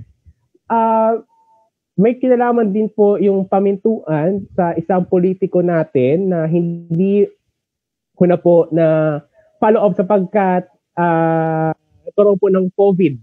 Ano po, ah kung kilala niyo po yung isa nating ah bukal doon sa Torrijos o konsehal si Honorable Primo Pamintuan. Ah naputol po yung aming connection kaya hindi ko na po ang naisaayos itong bahaging ito. Pilar Hidalgo Lim, Street. Mula kay Dr. Pilar Hidalgo Lim na isang edukador na taga Marinduque, pinunong pansibiko, Pangulo din po ng National Federation of Women's Club. Kaya po may Women's Club dito sa bayan ng Buwak na bagaman yan sarado na. Ah, siya rin po ay kaagapay ni Jose Faliales Escoda sa pagtatatag ng Girl Scouts of the Philippines. Line producer po ng Pardaton Hispano Filipino Studios, kasapi ng Board of Censors for Motion Pictures, parole board at napakadami po ng kanyang ambag. At ang pinakamahalaga po, ikatlong pangulo ng Central Centro Escolar University o ng CEU. Quezon Street, itangalan po yan kay Pangulong Manuel Quezon sapagkat lagi po si, o hindi naman lagi, ah malimit pumunta. Um, ah may kalimitan po pagpunta ng Pangulong Quezon dito sapagkat may nagsasabi po na ito po yung kanyang favorite hunting ground, ang Buwak at Buena Vista. Kapag po siya ay nangangaso, siya daw po ay pumupunta rito ah, upang mangaso. Pero ang mahalaga rin po sa kanyang kinalaman sa Marinduque ay ah siya po ang senador ng ikalimang distritong senatorial kung saan bahagi pa noon ang probinsya o sub, sub-province ng Marinduque sa probinsya ng Tayabas. At madalas bumisita sa Buwak, Mogpog at Buenavista lalo na noong nagpasinaya sa pagiging malaya ng Marinduque bilang isang lalawigan noong 1920. May larawan po ako ah, mamaya, ay kung mapapakita po, ah, yung pagbisita ni, Quez, ni Pangulong Quezon sa Buwak. San Miguel Street sa Mata sa Bayan, ah, may mga mungkahi na ito ay nanggaling sa kay San Miguel Arcangel na isang relihiyosong pangalan. Pero may nagsabi rin po na ito daw po ay hango sa tindahan ng isang sikat na serbesa sa isang kahabaan ng kalye malapit din sa simbahan. Pero habang aking pong sinusuri, ah, batay sa alituntunin ng LCP, hindi pasok ang pangalan ng isang serbesa para ipangalan sa isang kalye. Kung kaya mas tumpak po kung ito ay kukunin sa pangalan ng San Miguel Arcangel. Chofil Roque Street, bayani po, syempre, ng Paye. Tomas Roque, una, unang punong bayan ng Buwak noong panahon ng Amerikano, Tomas Roque. Yun po yung nasa kabaan ng Division Office ng DepEd at ng MNHS. At huling-huli po, Trevino Street, Gobernador Vicente Trevino, aide camp ni General Emilio Aguinaldo noong kanyang kapanahunan, lumahok sa digmaang Pilipino-Amerikano, Pangulong Bayan ng Buwak na nagpatayo ng Marinduque High School noong 1914 at unang gobernador ng probinsya ng Marinduque sa charter po nito noong 1920. So doon po kinuha yung mga pangalan ng mga haliganlansangan sa bayan ng Buwak. So, nagkaroon po ako dito ng kategorisasyon at uh, lagom sa pamagitan ng isang talahan na yan. Kategorya, bayani, may apat po. Politiko, may dalawampu. Relihiyoso, tatlo. Profesional, tatlo. Kaganapan, tatlo. Kultura, tradisyon, isa. Lugar at gusali, tatlo. At sa hindi matukoy, dalawa sapagkat uh, kailangan ko po itong isaayos pala. Taon at petsa. Uh, ayon po sa kasaysayan ng pagsasaayos ng mga Amerikano sa kanilang uh, pagdating sa Pilipinas, nagkaroon po ng pagsasaayos sa mga gusali at lansangan. Kasama po dito yung pagpapangalan. At ang hindi ko lang po matukoy at uh, hindi ko lang po mahanap mula sa ating uh, munisipyo yung pong ordinansa sa mga pagpapangalan ng mga naunang uh, pang uh, lansangan sa ating bayan. Hindi na po makita yung mga datos. Uh, kinonta ko rin po ang NHCP via email pero hindi po sila nag-respond. Uh, pero meron po ako ditong uh, bago, yung mga bagong pangalan, pero uh, yung 31 de Julio, Crisanto Luzano, Crispin Chavez, Dominador Leonida, Malvar Festin, Pilar Hidalgo, at Chopino Roques. Ito po ay batay sa uh, ginawang ordinansa, isinagawang ordinansa noong 2002. Opo. At yun po yung batayang legal, Municipal Ordinance Number 02-077. Doon po napapaloob yung pangalan noong mga bagong uh, kas- lansangan dito sa Bayan ng Buwak. At doon po sa iba ay batay po. Ako po niniwala ito ay batay sa Section 13, C2 ng Republic Act 7160. O yun po yung alitunturin sa pagpapangalan ng mga lugar at gusali ng ating uh, bansa. At doon po sa mga asterisk na nakikita niyo sa talahan na yan, ito po ay batay sa pagpapangalan ng Google Maps Convention. Implikasyon sa kasaysayan. Una po, kinikilala ng lansangan ang pag-ulad ng kasaysayan ng ating bayan. Ngayon din ang patuloy na pagsulong nito mula ngayon sa kasalukuyan hanggang sa hinaharap. Ikalawa, ito po ay nagsisilbing inspirasyon sa mga mamamayan, lalo na sa kasalukuyan mga kabataan upang gumawa ng mabuti at maglingkod ng may kahusayan at katapatan sa bayan at sa bansa. Bakit? Sapagkat kapag uh, mahalaga ang iyong nagawa sa isang bayan, maaring sa pagdaan ng panahon po ay mapili ang iyong pangalan para ipangalan sa mga lansangan pang walang pangalan dito sa ating bayan. At ikatlo, ang mga lansangang ito po ay refleksyon ng ating kasaysayan at mithiin. Napa, sa napakarami pong mga pangalan ng ating mga lansangan, tunay po na napakayaman ng ating kasaysayan at yun din po mithiin natin bilang mga Bokenyo ng nagdiriwang ng ika uh, tatlong daan sa naputwalong anibersaryo na pagkatatag bilang isang bayan. Lagom, una, may 39 na lansangan sa bayan ng Buwak at lahat ay may pangalan. Ikalawa, uh, 1.2, ito po ang pag ang pagpapangalan ito ay batay sa struktura o at uh, uh, definition ng DPWH Maaaring ito yung pambansang tersarya, panlalawigan o pambans, pambayang lansangan. At ikatlo po, uh, lahat po ng o karamihan po sa mga kasada sa bayan ng Bok ay bumabagtas sa isa hanggang tatlong mga barangay. Ikalawa, may makatwirang pinaghanguan. Justified po ang pagpapangalan sa mga lansangan ng bayan ng Buwak. Maaring ito ay galing sa isang bayani, politiko, relihiyoso, profesional, mahalagang kaganapan, kultura, tradisyon at lugar at gusali. Ikalawa, nakakaiba po ang petsa at taon ng pagpapangalan ng mga lansangan. At ikatlo po, uh, lahat po ng pagpapangalan ay alinsunod sa alituntuning, geografiya at turismo ng lugar. Ikalawa, humuhig, humuhig hugis po ang mga lansang ito po at maikli ang ating mga lansangan ay mahalaga po ito sa hugis at anyo ng ating bayan. Ah, sunod po, ah, naayon sa batas ang pagpapangalang ginawa. Sunod, ah, may malaki at kapakipakinabang na implikasyon sa dali ng kasaysayan ng bayan ang pangalan at ang mismo mga lansangan sa bayan ng Buwak. At huli, ito po ay silbing pamana at patunay na may mga personalidad po tayo at ibang mga bagay dito sa ating bayan na napakalahala, napakalaki ng ambag at ginampanan sa ating kasaysayan. Rekomendasyon, para sa saguriang panalayugan ng Marinduque, Kagapoy and DPWH, magkaroon sana ng proyekto programa sa pagpapaganda at pagsasaayos ng mga pangunahing kasada sapagkat sila po ang may sila ang in charge pagpapaganda. Para naman sa sangguniang bayan ng Buwak at maayon sa ibang bayan, magkaroon ng advokasya para mapanatili. Halimbawa po, yung paglalagay ng mga malinaw, malalaking karatula.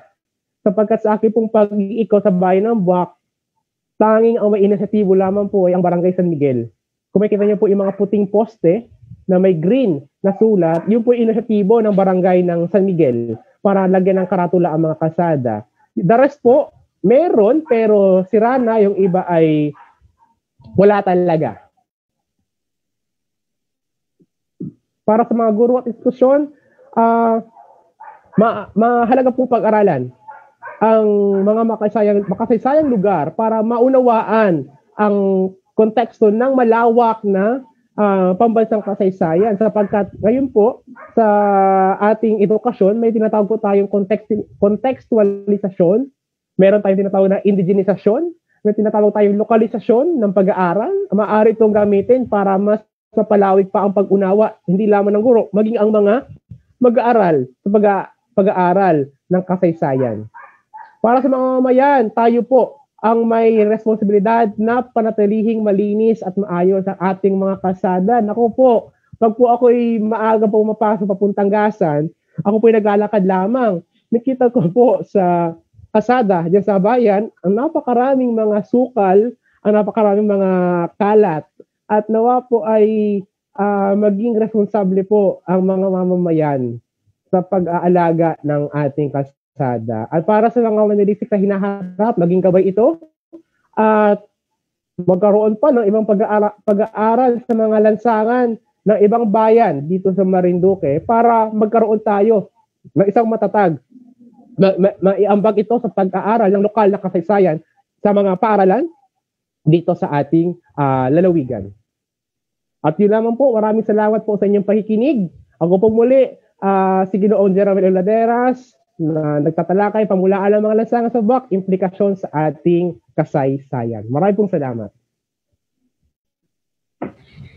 Maraming salamat po, Sir Jeremy Laderas. Totoo nga po na um, kailangan nating panatilihin ito hindi lang para dahil sa atin, kundi para sa mga darating pa at sa mga bagong sisibol na bokenyo. And also, sir, siguro responsibilidad talaga natin bilang bokenyo na mas itanghal ang mga natatanging um, kalye, kalsada, Oo. kagaya nga po ng iyong sinabi. Talagang na, ako po totally ako natuto rin dahil ang identification ko po ng kalsada at kalye ay iisa lamang.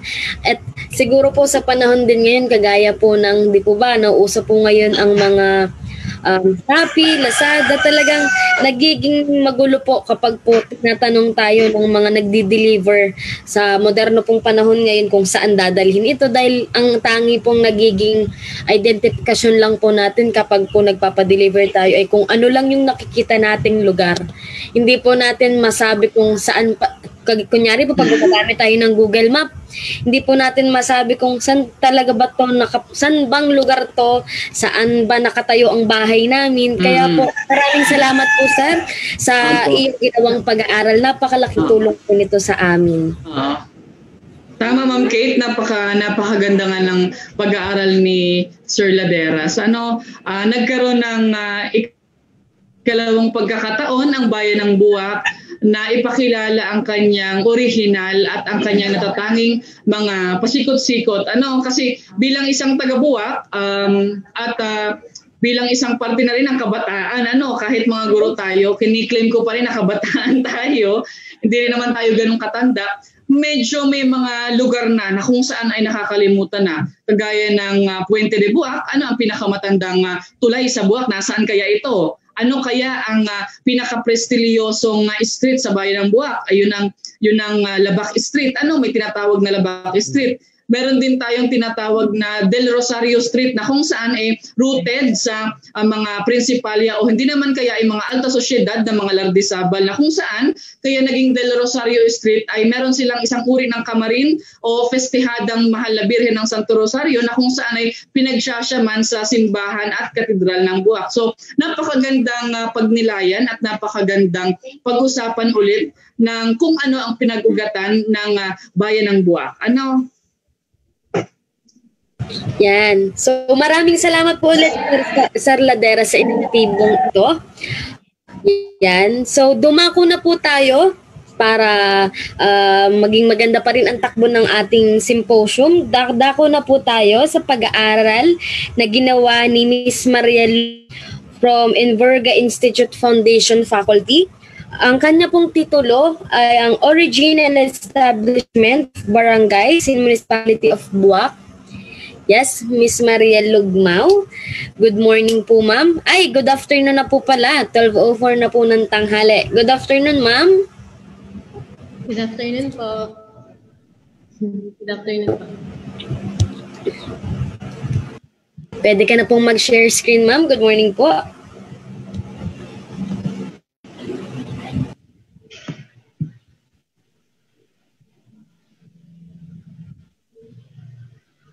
Ayan, isang mapagpalang hapon po sa ating lahat. Ako po si Binibining Mariel M. Lugmao. Ako po ay um, graduate ng Marinduque State College, batch 2019. At sa kasalukuyan po, ako ay nagtuturo sa Manuel S. Verga Institute Foundation um, Incorporated dito po sa San Antonio, Quezon. Um, salamat po sa mga um, panelists at sa mga um, tagapagpakinig natin at mga kapwa natin uh, mananaliksik na naririto po sa umagang ito. Um, umpisahan ko po ang aking pagtatalakay sa pagpapakilala ng aking ginawang pananaliksik. Ito po ay bahagi na ito po ay ang aking undergraduate thesis na ginawa ko po noong 20, taong 2018. So ang pamagat po ng aking research ay Origin and Establishment of Barangays in Municipality of Buac, Marinduque. Ay po. So, bilang panimula po, Bureau of Local Government 1975 declares province of Marinduque as a heart heart-shaped island with a total land area of 9.5 959.5 square kilometer. It is composed of six municipalities, namely Buac, Gasan, when Juan de Salcedo and Martin de, Go- de Goiti colonized the region in 15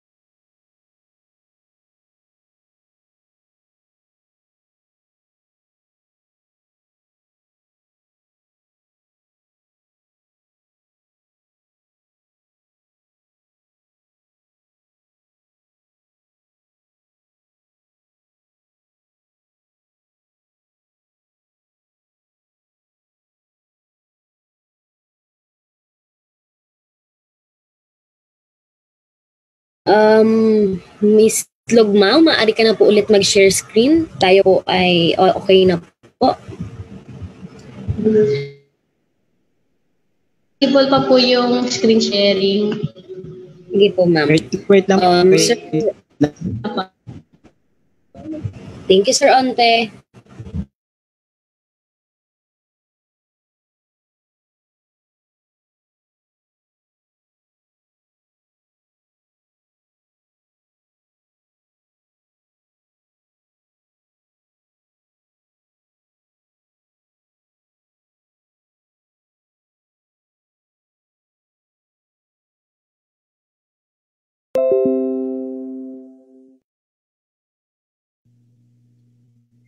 Ay, magandang tanghali po. Wait lang po, ma'am. Ah, hindi pa po lumalabas yung sa share, share screen.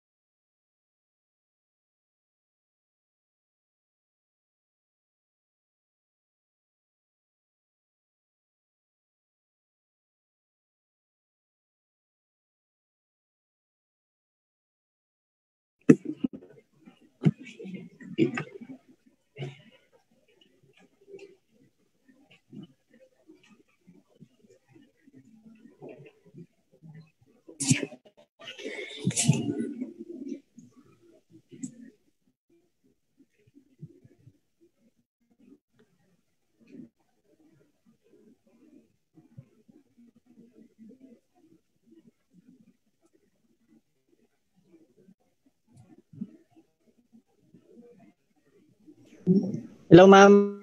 Okay.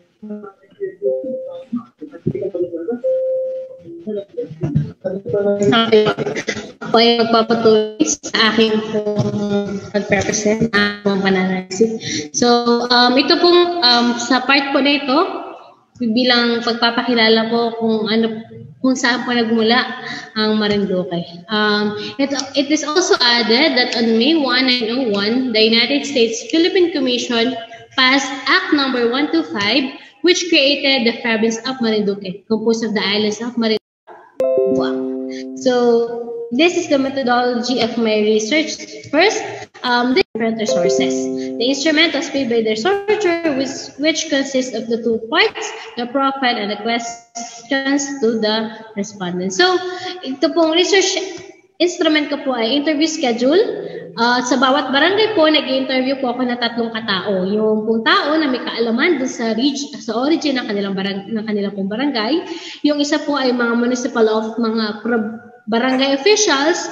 At yung isa pa po ay yung pong mga kilalang tao o yung mga tao po na mahigit na pag-aaral din sa patungkol po sa, mga, sa kanila pong barangay.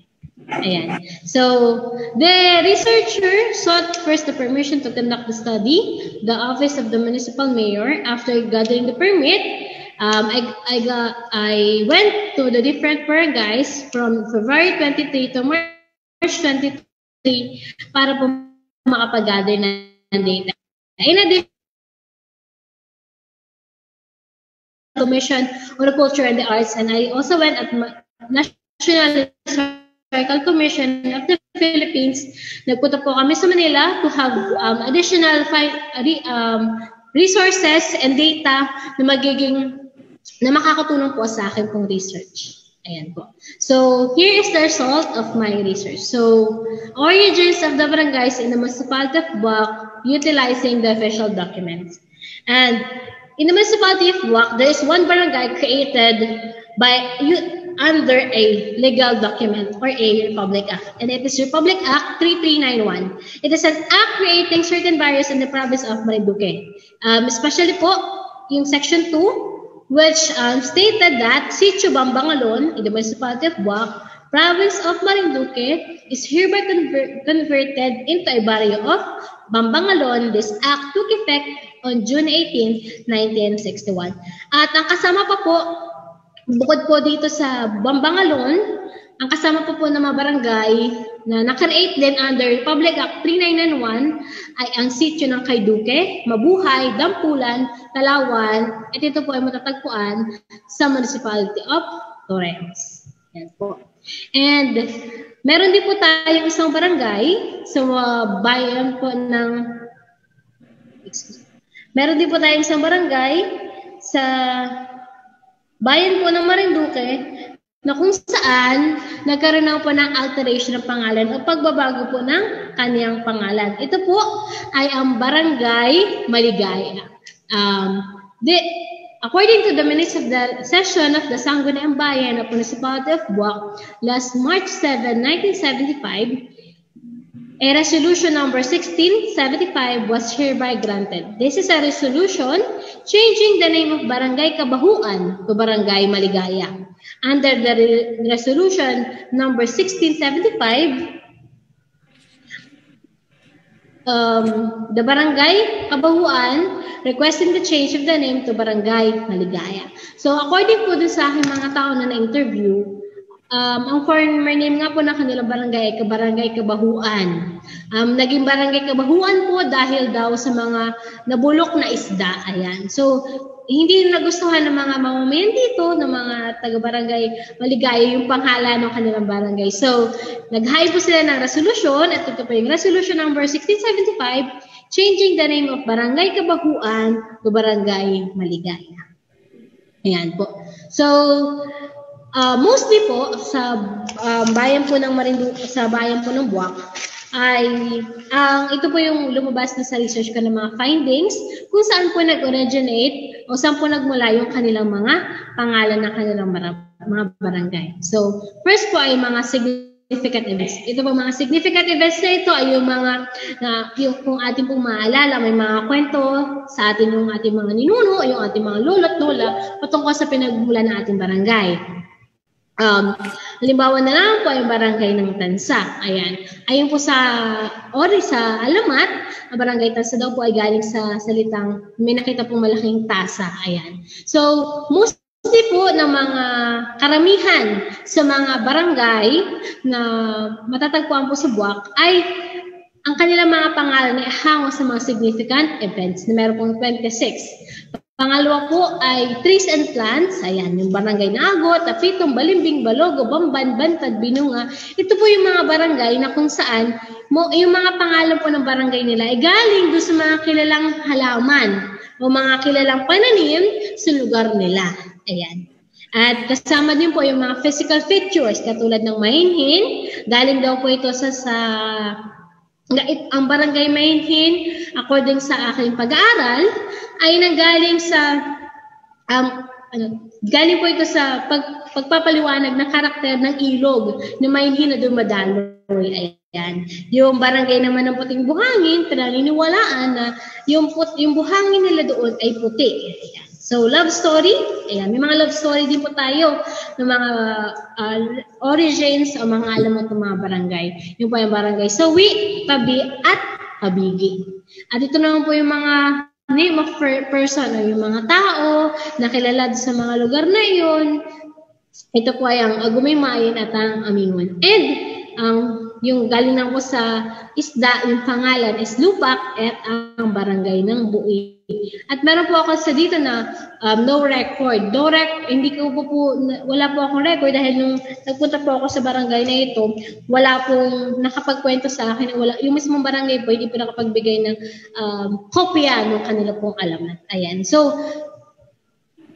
again po, um, um, this table states that there are 61 barangays in the municipality of Buak, in which 26 of those barangays got their, their name from significant events, 20 fra, 21 from trees plants, 4 for the different features of their barangay, 3 from their love story, 2 from the name of person, and 2 also for the kind of fish. Okay po.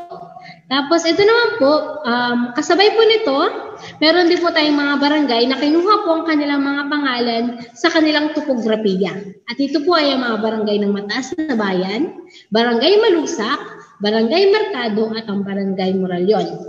Mataas na Bayan, for the barangay was so steep, Malusak was a muddy place, which was called by the Spaniards Pueblo Bajo, while the natives called it Labak. Ang hanggang sa kasalukuyan naman po napapansin natin na kapag umuulan, kapag nagkakaroon po ng konting pagbagyo, pag-ulan, saan po unang bumabaha? Madalas po nagkakaroon ng pagbaha ay ang sa ito po ay sa Malusak. At pinaniniwag kaya po ito tinawag ng mga Spaniards noon na Pueblo Bajo. Ayan.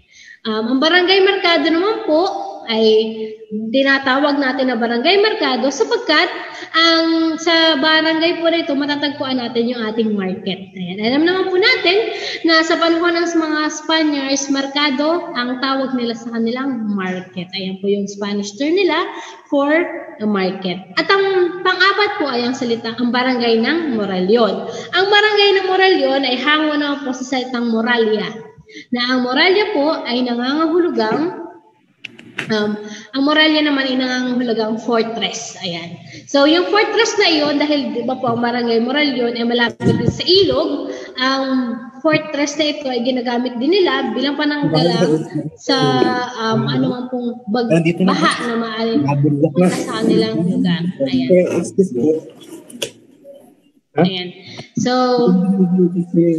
Here, the establishment of barangays is in the municipality of Buak in different periods considering the following process by the virtue of decrees, laws, and other part of legislation. So, um, there are 36 barangays dated prior to the 1948 Philippine census, which actually increased to 55 during the subsequent census in 1960 and six, and and now according to the latest census of the Philippine Statistics Authority, we have 61 na barangay. So, ayan, ito po yung mga naunang barangay.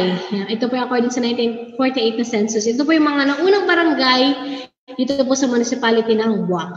Po, populasyon, agot. Ito pong populasyon, hindi po po siya nahihiwalay dun sa, dun sa 8 na mga barangay natin ngayon sa populasyon. Ang dati pa pong tawag sa kanya ay populasyon lamang. Ayan, populasyon, agot, Agumay-Mayan, Amingon, Apitong, Balagasan, Balaring, Balingbing, Balogo, Bamban, Bantad, Bantay, Buliasnin, Boton, Kaganhaw, Kawit, Daig, Daypay, Tuyay, Ihatob, Isok, Laylay, Lupak, Mainit, Maybo, Pawa, Pokkoy, Puras, Puyog, Santol, Sawi, Tabi, Tabigi, Tansa, um, Tugos, at Tumapon. Ayan. So ito po ay according sa ating po 1948 Philippine Census. At at noong naman pong 1960, nagkaroon din po ulit ng census at ito na po yung um, sa kasalukuyan po panahon ito ay meron na po tayong 55 na mga barangays. Ito pong listahan na ito ay galing po sa aklat ay sinulat po ni Madrigal noong pong taon na 1963. Ayan po.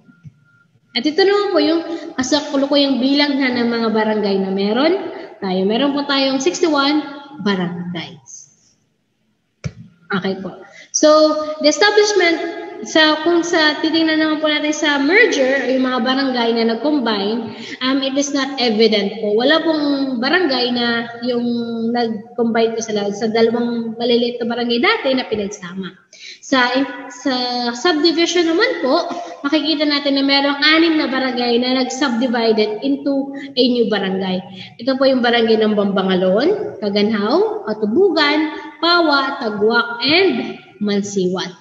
And there is no barangay that had been abolished and no barangays had its boundaries altered. Ito po yung results ng aking pong pag-aaral. And in conclusion po, the origins of barangays in the municipality of Buc were classified into official documents, local legends, and topography. In official documents, most of the barangays were created before the local government code.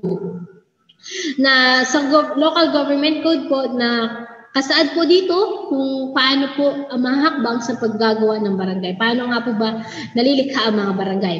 But there were no written records about their creation. Republic Act and Municipal Resolution are the legal documents that establishes barangay. barangay in terms of legend originate, originated from the events in their place that had been significant to them. As to the topography, there are four barangays named after its location. Yan. So ito naman po yung aking po mga recommendations um, after ko po mag-wide ng research ko. So to the official of the municipal government of Buwak, they may deal with the preservation of culture and heritage and may create programs and activities for preservation of our local history. And uh, salamat po dahil sa pagkakataong ito ay ito pong ganitong klaseng symposium ay makakatulong para mas makapakilala natin at mas makilala pa rin natin yung ating sariling kultura. Ayan po. So, to the tourism officer of the municipality of Buwak, he made, she or he may draft a comprehensive program on the preservation of culture and heritage that would help them appreciate and know their own history. And um, to the officer in charge in the municipal library of the municipal government of Buwak, they may acquire books about the origins, culture, and history of municipality of Buwak. And a copy of my research po ay nasa municipal library din po ng BAC. So, if may mga kilala po kayo na hindi alam yung patungkol sa kasaysayan o alamat ng kanilang barangay, they may access po yung aking pong research na matatagpuan po natin sa municipal library ng ating po bayan. Yan po. And for future researchers, they may study about the awareness of of residents about their history and origin, and future studies for the supplementation and validation of the data and information in this study. So yan, um, hinihikayat ko rin po na mas marami pa sana mga mananaliksik ang gumawa ng ganitong klase ng pag-aaral. Dahil ito po mga ganitong klase ng pag-aaral hindi lamang nakakatulong sa atin, kundi makakatulong din ito para sa kapwa natin at sa mga susunod pa po na henerasyon. Ayan. Um, based po sa aking pag-aaral, nung ako po ay nagagather ng data, napansin ko po na marami, marami pala tayo mga kwento pa na hindi natin alam sa ating bayan. So, pwede po po natin itong uh, maging paksa sa mga susunod pa natin ng mga pananaliksik. So, yun lamang po at maraming salamat. Ito po muli yung aking pananaliksik, um, origin and establishment of barangays in the municipality of Buwak. Maraming salamat po. Maraming salamat po, Ma'am Lugmaw. Nakakatuwa po na nagkaroon ka ng ganitong inisyatibo na pag-aralan para lang din po magkaroon ng kaalaman ng mga gaya namin, mga darating pang uh, mga kabataan ng buwak ng buwak na mas makilala at para mas maitanghal po nila kung ano ba talaga yung ibig sabihin ng kanilang mga barangay, kagaya na lamang po ng yun nga po, malaking katanungan po sa atin, bakit po tuwing na lamang pong bumabagyo kahit po ang ulan po ay napakaunti ay wala pang labing limang minuto ay bahan agad sa malusak. Yung po pala ay talagang merong explanation at meron talaga siyang dahilan. Kagaya po ng sabi ni Sir Jeremy Laderas, ang ibig sabihin daw po ng lusak ay putik at ang baho po, kagaya ng sabi mo po ay yung peblo baho ay mababa. Yan po. Kaya po siguro talagang lagi silang binabaha. Yan, maraming salamat po, Ma'am Lugmaw. Yes, Sir Epa, ikaw na Thank po. you, ma'am. Thank you, ma'am Lumaw. Apa, so atin naman pong itatanghal ang ikaapat na magpapakita ng kanyang pananaliksik. Ang uh, atin pong panauhing ito ay mag-aaral sa Estado Kolehiyo ng uh, Marinduque State College sa ilalim ng kursong turismo. Ang kanya pong pananaliksik ay pinamagatang Importance of Cultural Conservation of Heritage Houses in Buwak atin pong bigyan ng masigabong palakpakan si Ms. Charlie Isabel Soriano.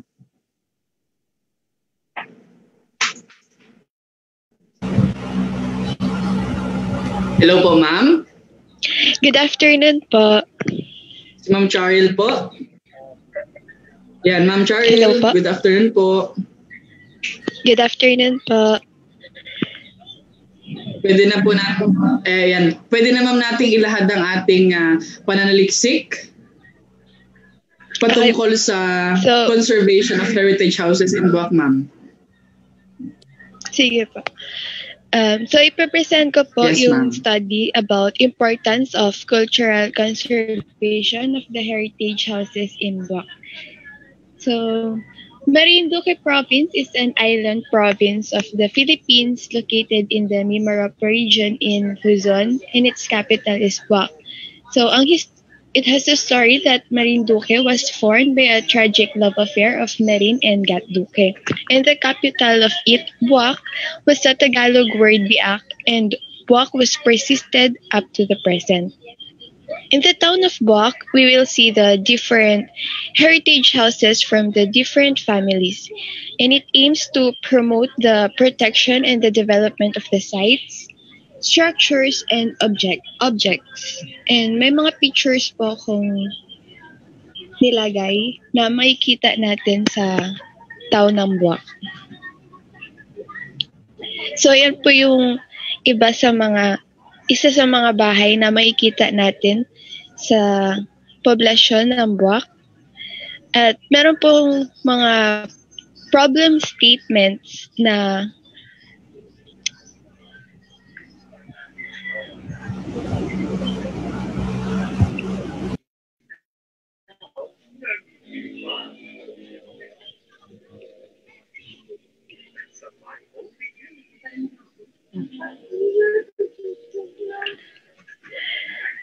So sa problem statements po, um, what is the importance of cultural conservations of heritage houses? In terms of uniqueness and natural beauty, the historical or cultural value and conserving. So ito po yung it maintains the beauty and architectural landscape that appeal to the tourist. And what are the problems encountered of the owners to conserve the heritage houses? Na it can cause an addition to expenses to keep the restoration of the house and the plans and considerations of the owners to conserve the heritage houses na it may become worse as the time pass by if it will not maintain properly. So from the logical outcome and output, in impact, it can increase the importance on how they will conserve the houses. And it can provide each heritage houses can keep the same beauty, architecture, and landscape of it as the time passes by. To find the verify is to survey the owners to know the to know how they conserve the houses that they own. While in outcome, it increases the number of tourists that are attracted and who will visit the heritage houses in the town of Buac. And it contributes the the higher rate of the tourists that are coming or visiting the heritage houses through tourism in Marinduque. And we can verify it from the Department of Tourism in Marinduque. While in output, um, there are more plans and projects to preserve the stat to conserve the status to conserve the importance of the heritage houses in Buac. And the plans and projects will be conducted only to the heritage houses from the local government unit of Buac. So the conceptual framework, the input first will be to identify the importance of cultural preservation of heritage houses in Buac and the plans and considerations of each owners. Then the process will interview each of the owners of the heritage houses and gather information from the local government also. And the output is to create a future plan to conserve the heritage houses. The materials and the methods will be utilized as descriptive method of research to the owners of the heritage houses. It will be using a questionnaire as the major instruments for the gathering data that contains different questions. And the respondents of it will be coming from four barangays in Barangay Malusak, Barangay San Miguel, Barangay Moralion, and Barangay Mercado, kung saan po nakatayo yung iba't ibang heritage houses na makikita natin. And it will be personally distributed to the owners of the houses. And siguro magiging problema lang po is yung availability ng mga respondents, lalo na po ngayong pandemic. So there are an bibliography that is related to my study from the different sites and journals on how on protecting the heritage that aims to conserve the value of every houses with a representation from the past.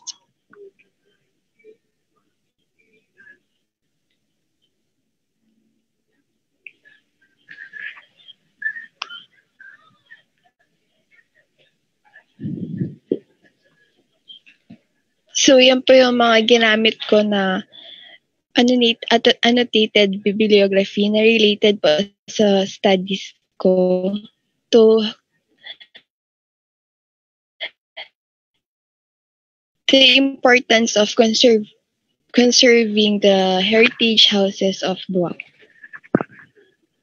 Okay, thank you Ma'am Charil sa iyong napakagandang presentasyon na kung saan ay nagtatampok ng uh, uh, pagpepreserba at uh, pagpapatuloy ng tradisyon ng uh, mga bahay na bato sa bahay na buwak. Ano ma'am, kasi uh, mapapansin natin ano ang mga bahay na bato dito, kagaya ng kauna-unahang bahay na bato dito, isa sa mga kauna-unahang rather ay ang uh, bahay ng uh, kay Kapitan Piroco. Yung nasunog ma'am, ano kung kung alam natin 'yon. Yung uh, isa pa naman isa sa mga bahay na batong matatanda din dito is yung Casa de Don Emilio na kung saan ay uh, naging mula sa uh, pamilya ng mga Lardisabal. Ano, nakakalungkot ma'am sapagkat uh, ang ibang mga bahay na bato o ang iba sa mga heritage houses sa bayan ng Buwak ay naapektuhan ng sunog noong uh, taong 2018. Ano ma'am, nakakalungkot mga uh, nakakalungkot mang balita, ngunit uh, kailangan nating magpatuloy at napakalaking halaga ng uh, pagkakalap ng impormasyon patungkol sa mga bahay na ito sapagkat ito man ay uh, mapawi ng bagyo, ito man ay uh, mawasak ng apoy, ito ay mananatili sa uh, uh, alaala, mananatili sa kasaysayan at sa puso ng bawat pamilyang nanirahan dito, maging sa uh, bayan ng Buwak.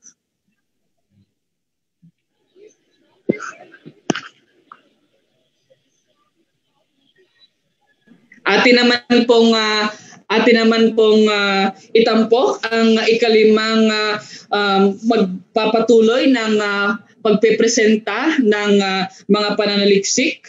Ang ikalima pong magtatampok ng uh, pananaliksik ay isa ring mag-aaral sa Estado Kolehiyo ng Marinduque at uh, ang kanyang uh, kurso ay turismo rin at uh, ang kanyang uh, pananaliksik ay patungkol sa napakagandang uh, uh, marka ng uh, bayan ng Buwak, hindi lamang sa buong Marinduque, maging sa ibang probinsya at maging sa Kamaynilaan. Ito ay ang tinatawag nating Bila-Bila. Atin pong alamin kung ano ang, na, ang kasaysayan ng Bila-Bila, kung ano ang pinag-ugatan ng Bila-Bila Festival, at kung ano ang, ka, ang uh, pinakang uh, epekto ng uh, Bila-Bila sa uh, mga taga-Buwak. Ano kung uh, gagaano nila ito ipagmalaki. Okay? So, uh, ipinakikilala ko sa inyo si Ma'am Mary Rose Mawak. Ma'am. Ma'am Mary Rose, hello po. Ayan, okay ma'am. Um, pangatlo is Cultural Preservation Festival in Buwak Marinduque, implication to tourism industry.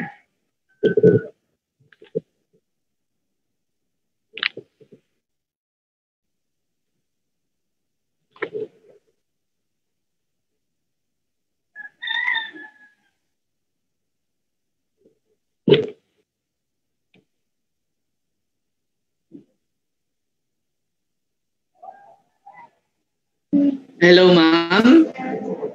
Ma'am Mary Rose Mawak. Ayan.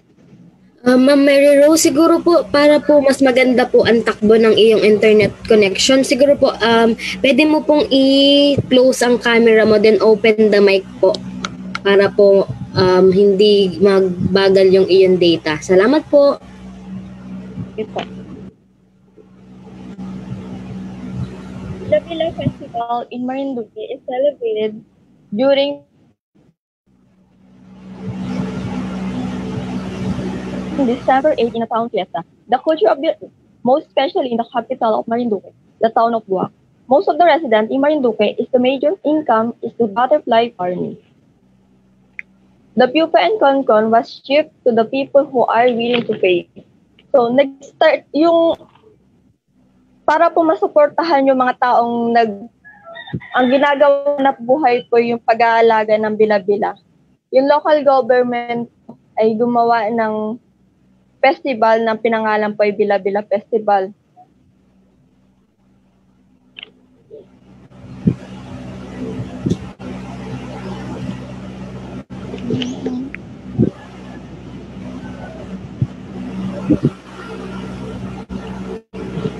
The conceptual framework po is input.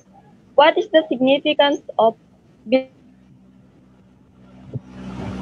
Bila Festival in terms of aesthetic and historical? Yung process po niya is descriptive method, random sampling, survey questionnaire, and interview. And sa output po niya is intervention and out- action plan.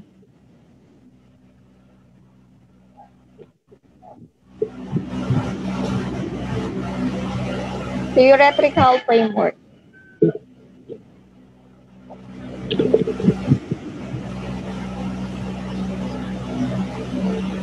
According to Winter Sylvia, 2015, the thinking aesthetic, the aesthetic as a cultural, operative, symbolic phenomenon.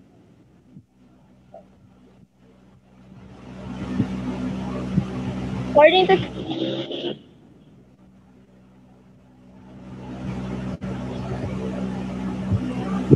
According to Sully, in hypothesizing the framework for looking less self, the mind is mental because the human mind is social. Oh. Yan, tama.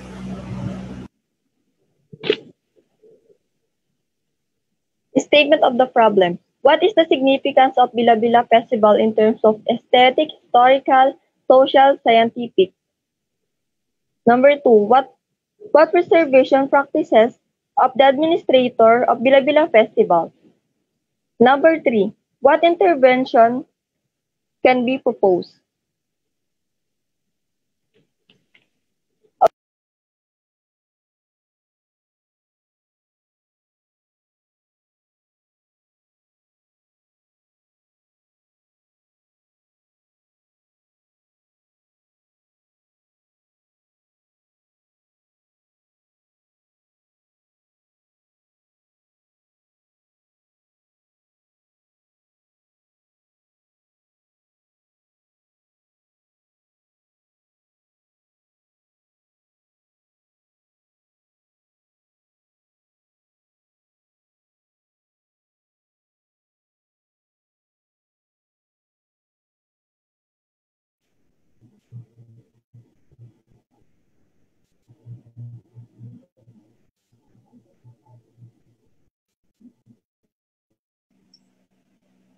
Yan, so hintayin po natin ang ating mga kasama na makapag-reconnect.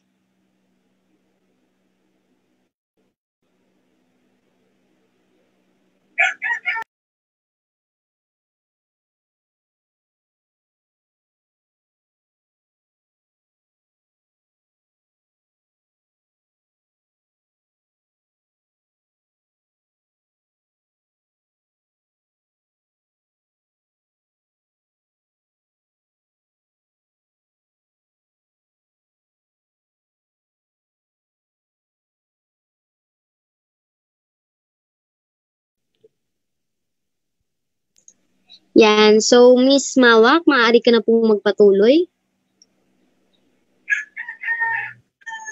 Ah, ma'am, wait lang po. Naka-disable pa yung share screen. Sige po, salamat po. Ma'am, okay na po. Pwede na po mag-continue. Thank you po.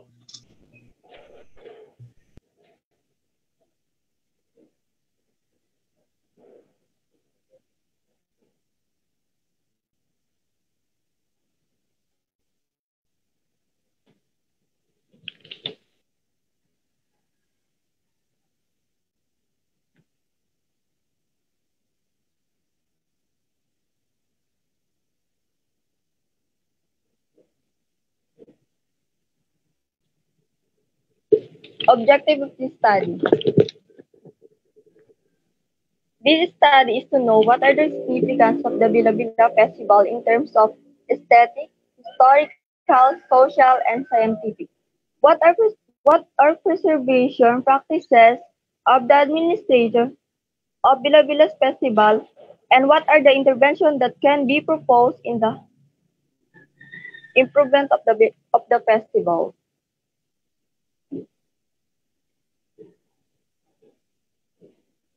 Assumption.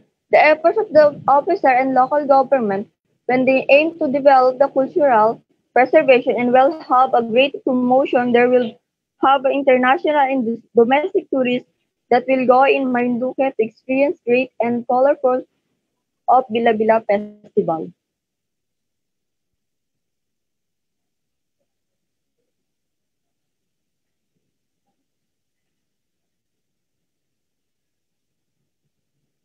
Hypothesis. The importance of the cultural and historical with Bila Bila Festival are expected to support its development and would desire to increase its popular.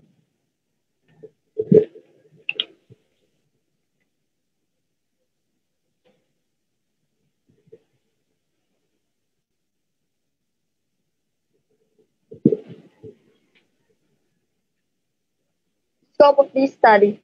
The scope of the study are to, re- are to re- are the researcher will be able to know what are the significance of the festival in terms of aesthetic, historical, social, and scientific. What are the prevention practices that will be able to use to promote and to get well known a certain area? And what are the intervention that will be using in preserving a festival? And what will be the help of this to a certain place?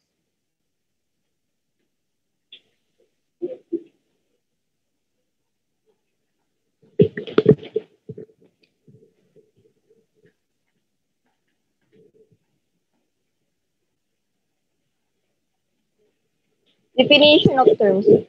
Butter, butterfly, an assorted species. Tourists, people who love to travel in, in a certain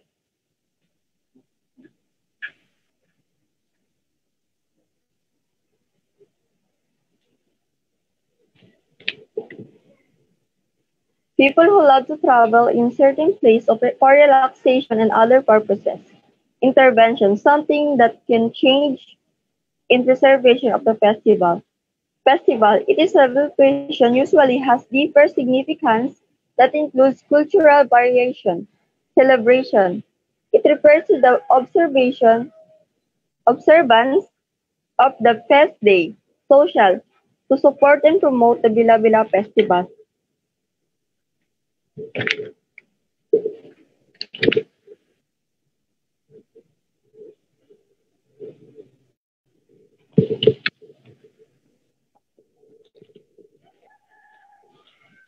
RRL according to Kenyon 2002, stress that are are determin- determinants that cause people to travel to other countries to learn their local or culture and his- history. The development of local has increased cultural history. In the study of Gerald Nilanti, Liana Gi- Georgie Mo- Monica, 2011, the popular success of festivals are there becoming both less critical and less significant in terms of their role within wider social life.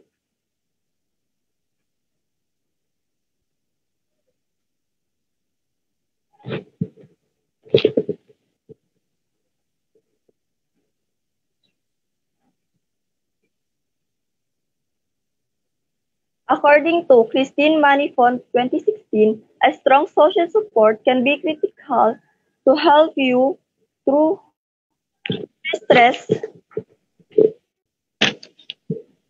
stress time whether you had a bad at work or you're filled with loss or chronic health illness since you're part of your life Maya tw- at the time when cultural knowledge understand lie at the heart of every foreign policy change challenge and many economic ones and the internet the global economy have flattened the world to such a degree that young people everywhere need to become global citizens to succeed effect- effectively, conduct cultural development with the job of one hand tied behind behind the back.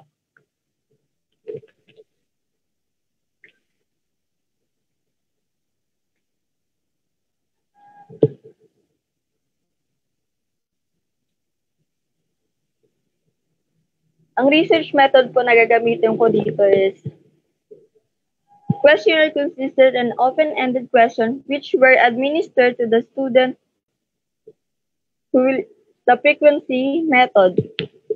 Interview personally to the tourist officer to ask a question to get an information on the subject matter. Number two, internet will be accessed for the related information in the study. Number three, the literature such as related thesis or article will be reviewed in cultural preservation of the festival. Vari- variables to be studied. 1.1 Aesthetic. It is the idea of the festival and how the administration preserve it. Now, 1.2 his- Historical.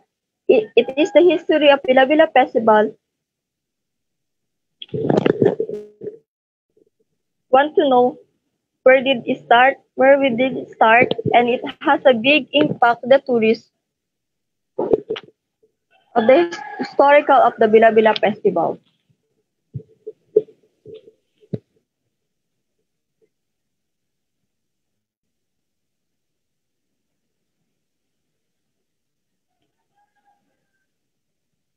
One point three social. It can be support the Bila Bila Festival to get well known because of communication with other pro- province to visit Marinduque, and it can also have a big help with the festival because of the site like Facebook, Twitter, Instagram, and YouTube that can spread the, news about the festival. 1.4 Scientific. The value of the best of the Bila Bila Festival in Marinduque. Population frame and sa- sampling scheme. Butterfly leader of the owner of the farm, choreographer, student in Moanay who are who were part of the Bila Bila Festival, the municipal agriculture, and the admin, admin of the information. Library services to identify the population frame, the researcher used the ram, random sampling technique.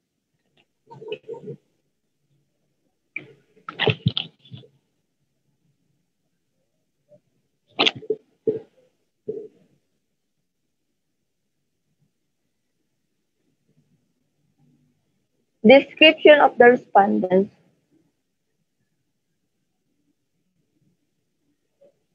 Fam- familiar, familiarity and knowledge needed. Research environment.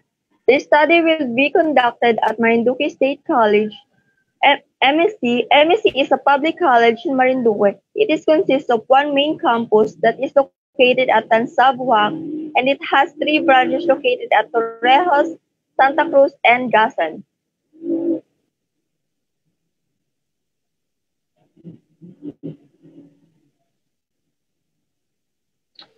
Description of the instrument. Descriptive, descriptive method, survey and checklist will be the instrument of the study. Gathering of data. Send letter. The researcher will send the letter to request permission to, to the list of the students who are joining the street dancing. Treatment of data. Formula. WM is equal to TWF over N, wherein WM is equal to weighted mean, F is equal to frequently, and N is equal to total number of respondents.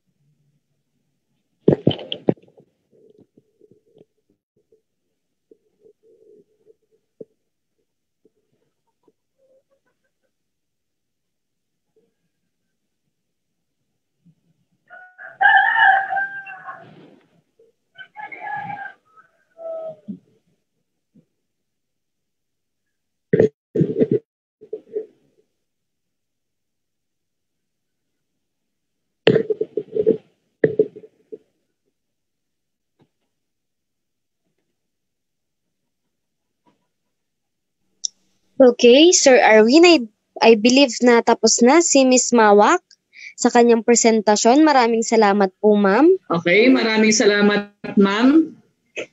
Okay Um, po. At tayo po po ay- ngayon ay nasa... Hello, ma'am? Um, si Miss Mawak po at saka si Ma'am Charil po, ang kanila pong itinunghal ay isang present, isang proposal lamang po na ginagawa nila ngayon bilang an, mag, sa, sa kanila pong thesis. Um, so, siguro po ay mga napapansin kayo, ngunit ito po ay, ito naman po ay mababago pa nila at ito ay mas mapapaganda pa. Okay po, Sir Arepa, Ma'am? pwede ka na pong magpatuloy. Okay. Okay po. So tayo po ngayon ay nasa huling ah, nasa huling ano na, nasa huling uh, tagapag-ulat ng kanyang ano, ng kanyang pananaliksik. Ah, siya po ay isang ah, guro sa ah, Estado Colegio ng Marinduque State College. At siya rin po ang ah, pinakang puno ng kanilang programa which is ah, ah, tourism. Okay po. So Ah, ang kanya pong ilalahad ay ah, cultural tourism, heritage tourism, and creative tourism. Wala ba siya po ay ah, ah, atin pong paunlakan ngayong hapon. Ah, atin pong ah, bigyan ng masigabong palakpakan si Miss Lenny Grace sa Punggan. Hello. Hello. Hello ma'am, good good afternoon po. Good afternoon po. Naririnig niyo po ako? Yes po, okay na ma'am. Yes, ma'am. Okay po. Ah, maulang hapon po sa ating lahat. Ah, Maulang ah, hapon ma'am.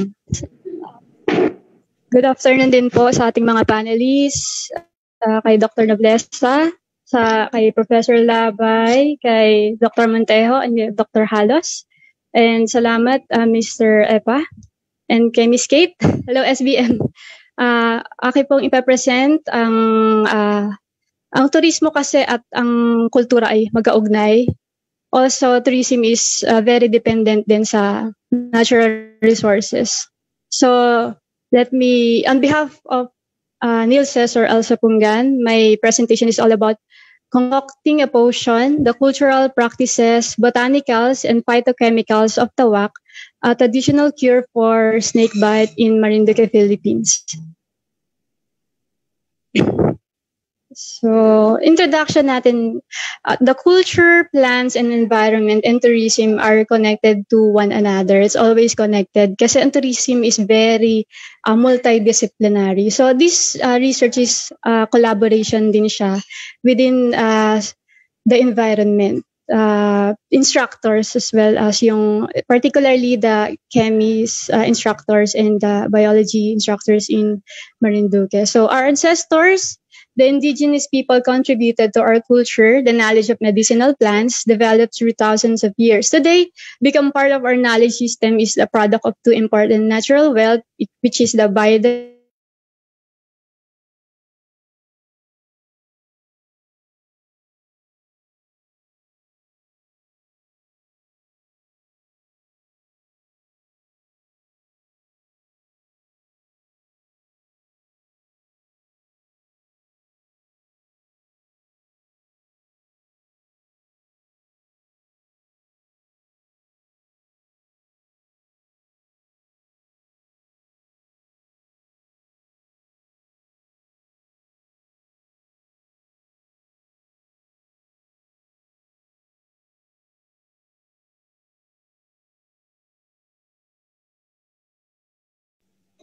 Nawalan po yata ng signal si Ma'am Grace.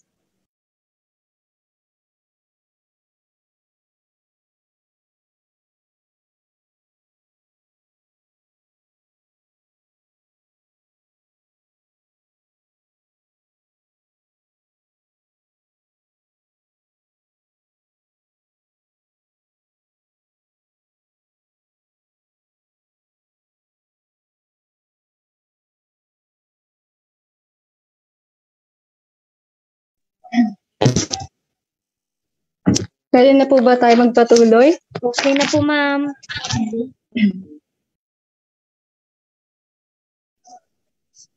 Ayan nga po, ah, ang ah, we have this tangible and uh, intangible aspect. So, ina-emphasize ko dito sa research ko yung ah, both. Pero since we're talking more of the ah, culture, so mas ibibigyan ko po ng attention yung tawak, yung practices ng tawak. Um, next slide.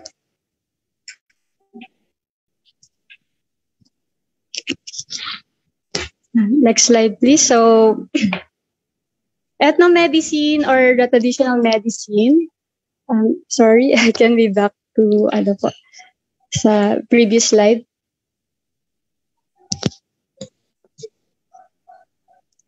Sige, um, ayan po, ethnomedicine or traditional medicine is found in every culture. And sabi ng WHO 2015, uh, 100 million people in European Union use herbal medicine, wherein its global market can soar to uh, 150 billion US dollars. So traditional medicine today is linked to medical and wellness tourism. And is another form of tourism. So not only cultural tourism, but we have also medical and wellness tourism which is yung mga resources nito is available in the environment. Like, for example, is the plants. So to give you an emphasis to the aims of the my studies, we have uh, three aims. The first is to determine, ito yun, uh, I want to emphasize the cultural practices involved in the practice of preparation of tawak o yung tinatawag nating uh, snake bite uh, potion. So the, the next one is to identify and classify the plants species used by the magtatawak. Yung magtatawak na yan, we considered its herbolarios or the snake bite killers.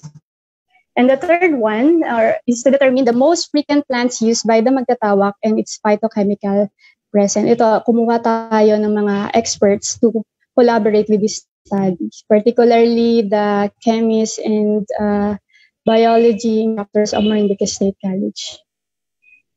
And then we had next slide, please.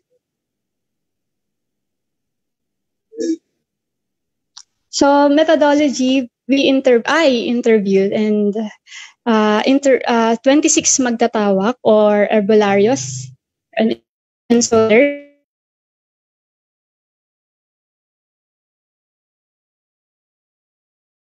mga halaman.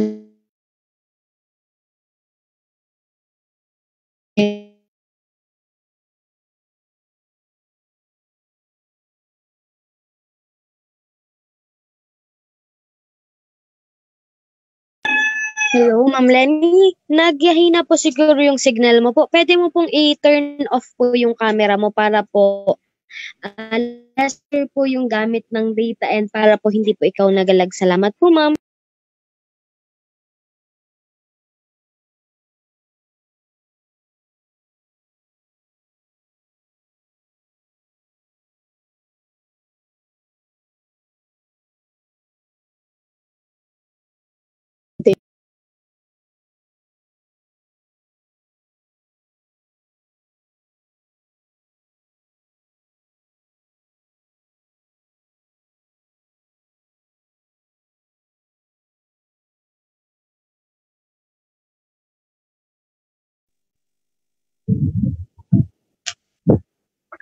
Hello po. Yan, ma'am. Okay na po. Okay na po. So, in continuation, ah, sige po, go ahead. Hel- Hello? Yan, ma'am. Okay na po, ma'am. Okay, pwede na po. So, in continuation po with the methodology, we identified botanical subjected phytochemical screening, uh, seeking the help of the uh, expert, particularly the, as I, as I mentioned before, the biology and uh, chemist uh, instructors in Marinduque State College through finding the alkaloids by Mayer's test, flavonoids by Shinoda test, saponins by Prot test, tannins and phenols by ferric chloride test, triterpenes by Sals- test, and sterols by Laberman and Parker's test, and cardiac glycosides by Keller-Kelani test. So ito na po, let's go with the findings.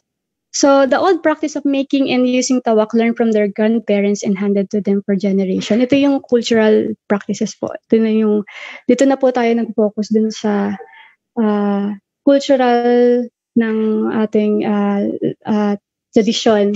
Like, di ba, pag merong practices, ito ay hinahanded uh, from generation to generation. So majority of them held in the remote interior parts of the province where plant resources are still available. Ito pong mga magtatawak na to, kalimitan po dito is uh, matatagpuan natin sa remote areas. Yung kaninang present po ni Miss uh, Lugmao, yung mga ano, site po sa Buwak, kalimitan po is marami sa kanila is taga Buwak. Yung mga taga Tabige, taga Duyay, sobrang lalayo. So, dun po sila nakakuha ng mga sources po nila ng ginagamit sa concoction. So, pathway of knowledge is through filial social network or kinship. So, from parents, napapasa po yung practices na to to the offspring or yung kanilang mga anak. Particularly po yung kanilang uh, anak na may interest or curious dun sa knowledge na ginagawa ng kanilang great-great-grandfather pa or yung father nila. Next is Um, next slide, please. Okay, uh, this is to answer also the same objective number one. So, so itong practice po na to is, is spread over the province and matagal-tagal na rin po. So people learn to engage in drinking tawak during the Lenten season kasi sabi nila during Good Friday or Holy Friday, mas efficacious daw po yung pag-inom ng tawak. Kasi during early morning, pinaprepare na po nung uh, magtatawak yung mga nag-gather ng halaman and then ginagawa na po itong concoction. So, it was preserved and passed from generation. Ayun po yung aspect ng culture. So, ito po ay naging made a touristic activity where curious tourists engage in tawak drinking during uh, Holy Friday. So, next slide, please. So ito po ay yung uh, procedure. Uh, kung nakikita nyo, yung letter A, yung magtatawak is pre- preparing the herbal plants. And then, uh, in making the concoction, ayan, uh, niluluto niya po, pinapasama-sama niya lahat ng uh, halaman dun sa isang container and then niluluto niya. And then, after speed powerful is the citing of the oration or yung tinatawag natin spiritual incantations. And then, before giving a glass of tawak for drinking during Holy Friday. So, yun nga po, during Holy Friday lang po available itong tawak. Kasi kapag ibang araw po ay hindi na po ito magiging effective daw na pangontra sa hindi lang po kagat ng ahas, pero binibigyan po natin attention dito yung kagat ng ahas. Bagkus po sa mga uh, rabies po or different uh, animals po na merong ano po, mga lala. So, to answer the objective two, we have this slide. Next, uh, next slide please. So, meron pong ginagamit na 146 plant species po ang mga magtatawak and to combine pero po, uh, kalimitan po doon ay ano lang. Usually dito sa atin po sa Marinduque, 60. 60 plant species. Pero nilagay ko na po yung range ng 55 to 77 plant species, which is distributed from 52 plant families and 104 genera. So top 3 po is si Asteraceae, uh, 14 po doon, and then Fabaceae, 10, and then the next one is Singibariaceae, and the like. Next slide. The most commonly used plants po, yung sa 26 po na magtatawak, ang kanilang uh, present po lahat sa kanila is tagbak. Pangalawa po is bawang, and then we have mamin, and then butingot, and so on.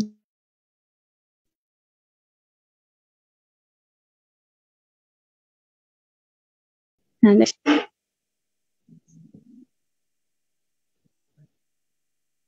And then another slide. So, ito po, ah kalimitan po sa ginagamit nila is 49 po ng halaman is whole plant, yung buong halaman po. And then 22 po na halaman is yung bark. And then we have uh, leaves, 20 doon. And then we have roots and rhizome. Ito pong mga pictures na yan, yung A, B, C, D, ito po yung mga samples ng ginagamit nilang halaman. Particularly ceremonias, ginagamit nila yung buong halaman ng ceremonias, letter A. And then yung kudyok, yung ano lang po yung bark. And then butingot, yung mga leaves lang ng butingot particularly. And then malunggay, yung kanilang roots lang. Roots lang yung malunggay. And then we have luya, of course, yung uh, rhizome ng luya. Next slide. Next slide, please.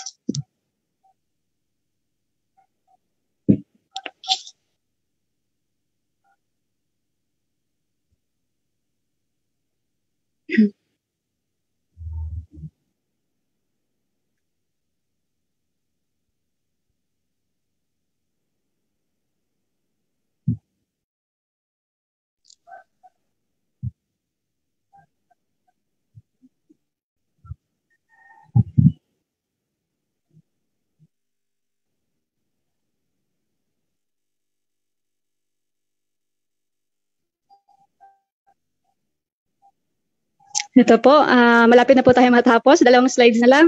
So, to answer the objective number three, we have po yung phytochemical component po ng halaman.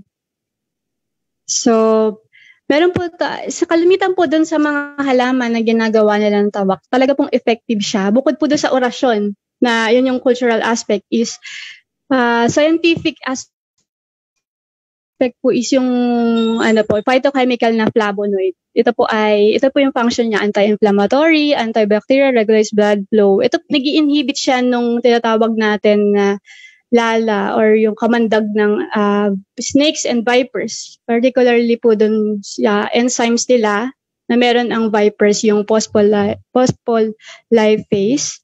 And uh, we have also the tripernoid, same functions also in anti-inflammatory, antibacterial, alkaloid, steroid, eh, saponin, phenol, tannin, and cardiac glycoside. So hindi ko muna emphasize yung mga phytochemicals niya since we're more focused on cultural aspect or cultural uh, uh, studies.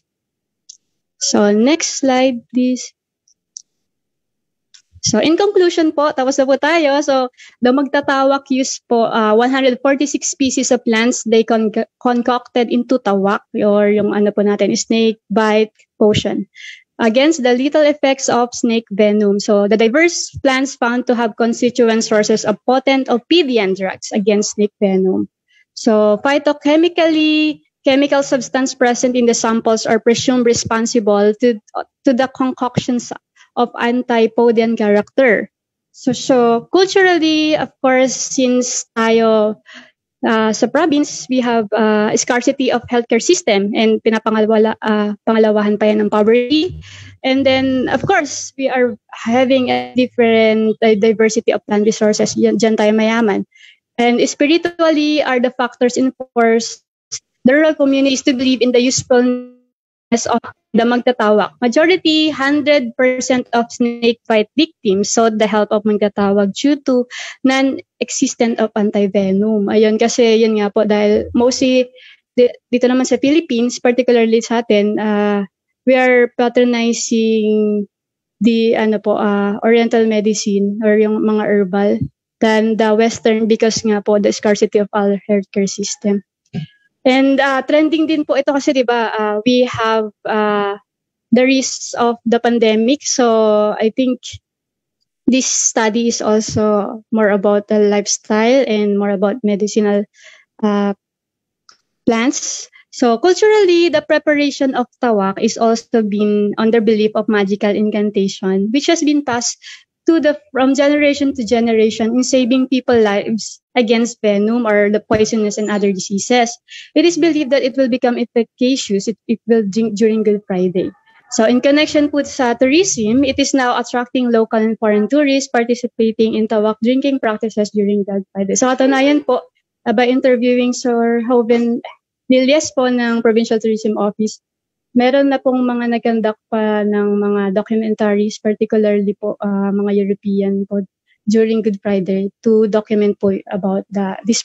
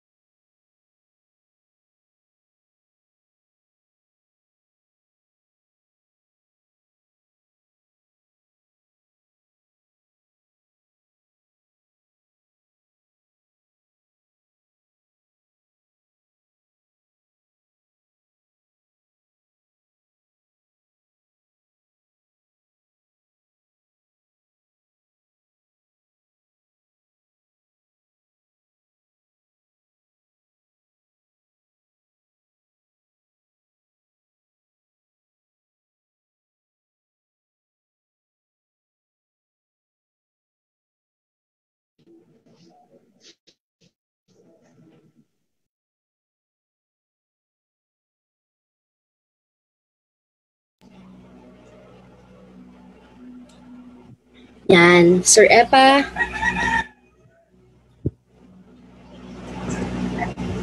Marami pong salamat sa mga nakapaghandog ng kanilang uh, pananaliksik patungkol sa kanya-kanyang uh, uh, kanya-kanyang interest. Ano po, napaka-husay ng uh, pagkakapaliwanag at uh, dito na po nagtatapos ang ating uh, ang ating symposium. Ano, marami pong salamat sa lahat ng nakiisa. Ano, uh, Ma'am Kate?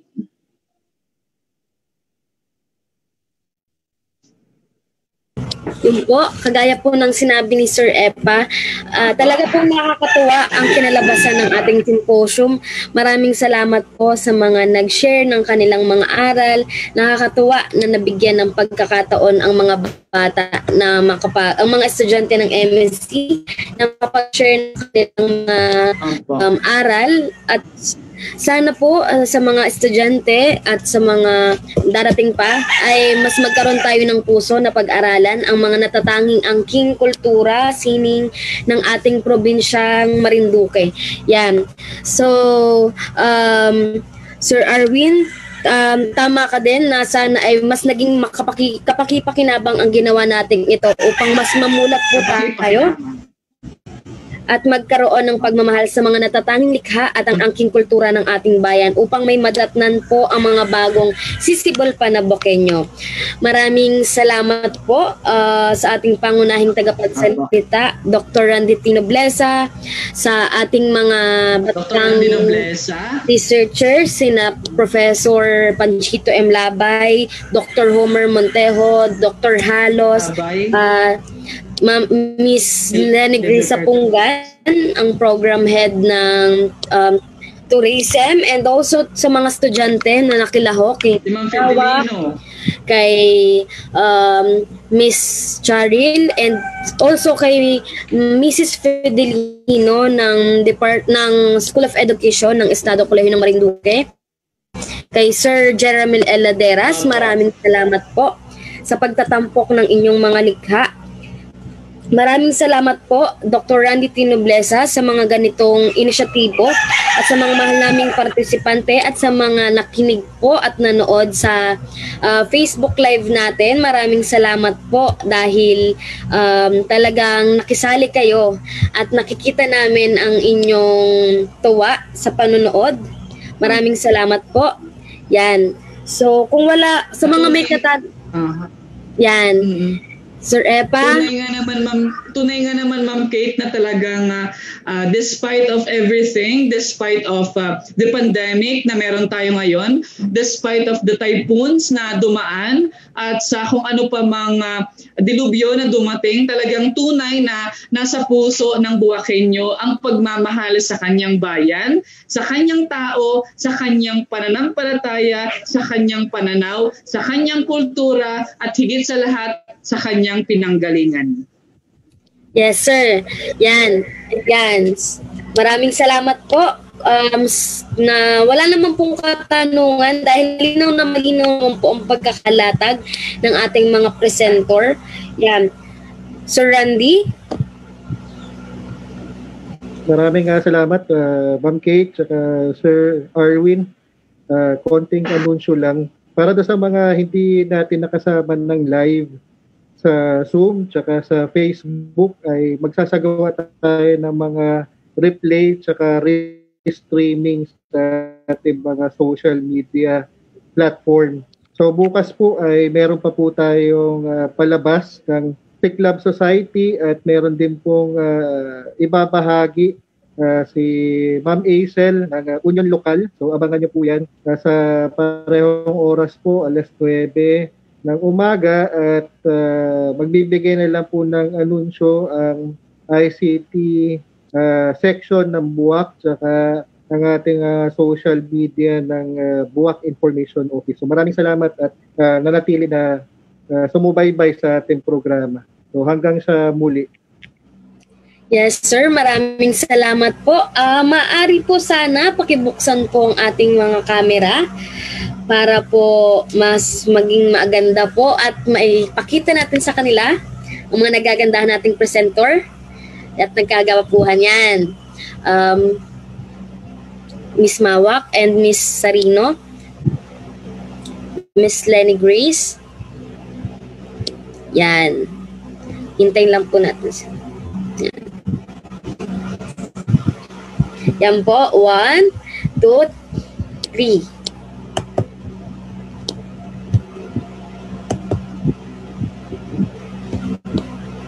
Yan po. Maraming salamat po sa ating mga ah, mga magagaling na nagpresenta ng kanilang mga papel. Sir Arwin, maaari mo bang basahin ang ating mga aktibidades pa na darating upang maka bilang naman sila at malaman nila kung saan pa ba tayo pwedeng ah, magpakita or maglahad ng mga aralin tungkol sa kultura ng Marinduque.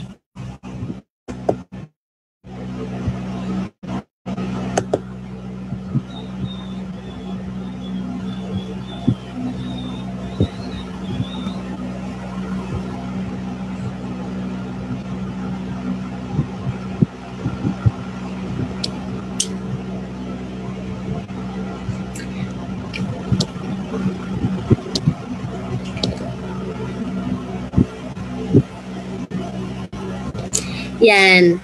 So, Sir Arwin, maraming salamat po sa December trip po. Um, I believe po, December trip po or sa Thursday po ay meron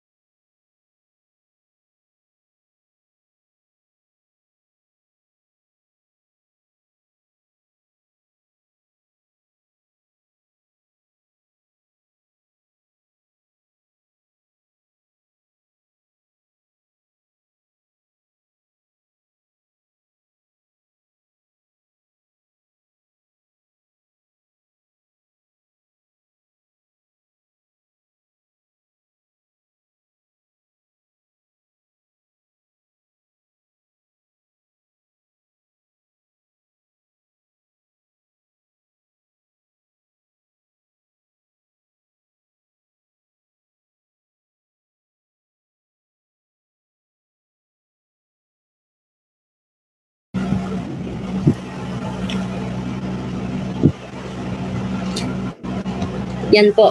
Um, naihayag naman na po ni Sir Noblesa ang kanyang habilin kanina tungkol sa mga iba't iba pa nating gawain. Sir Win? Um, ang inyo pong sertipiko ay ibibigay po namin ni Sir Nobleza after po nitong ating gampanin na ito para po maging um, ano po ba isang nakaka nakakatuwa po talaga ang pag-aaral natin ngayong araw dahil nakita namin na uh, tal- kasi po talagang tanong ko din dati yung tawak bilang dati ating um, hindi po kabilang ng ng Catholic, Catholic po dito sa ating probinsya, ating pong iglesia. Pero nakakatuwa po na yung pala talaga po ang ibig sabihin ng tawak. Hmm. Kasi po dati akala ko tamang alak lang po yun. Akala ko po talaga dati ay gusto lang nilang inumin dahil sa wala nang mapagpilian. Yung pala po ay may ibig sabihin. So bilang GD scholar po, nakakatuwa po nalaman namin yun para maging tulong din po in case po na Yes. mapili namin yung pag yan. So, Sir Jeremy Laderas, maraming salamat po. Ma'am Lenny Grace Sapunggan, uh, Mr. Onte ng Salamat ICTF, po sa inyo. Miss Cheryl Isabel Sarino, Miss Mary Rose Mawak, and to Miss Mariel Lugmao, at sa mga iba pa po nating um, um, partisipante, isang mapagpalang hapon po, Sir Arwin. Maraming salamat po sa pagdalo. Yes, ma'am. Maraming salamat po. Muli mula sa Estado Kolehiyo ng Marinduque, ako Yes. si Kate Resurrection Tama, At ako po si Arwin Jonas M. Epa. ang inyong tagapamagitan ngayong hapon. Maraming salamat po. God bless you everyone. See you po sa mga susunod pang gawain. Bye po. Bye po. Thank you sir. Thank you ma'am.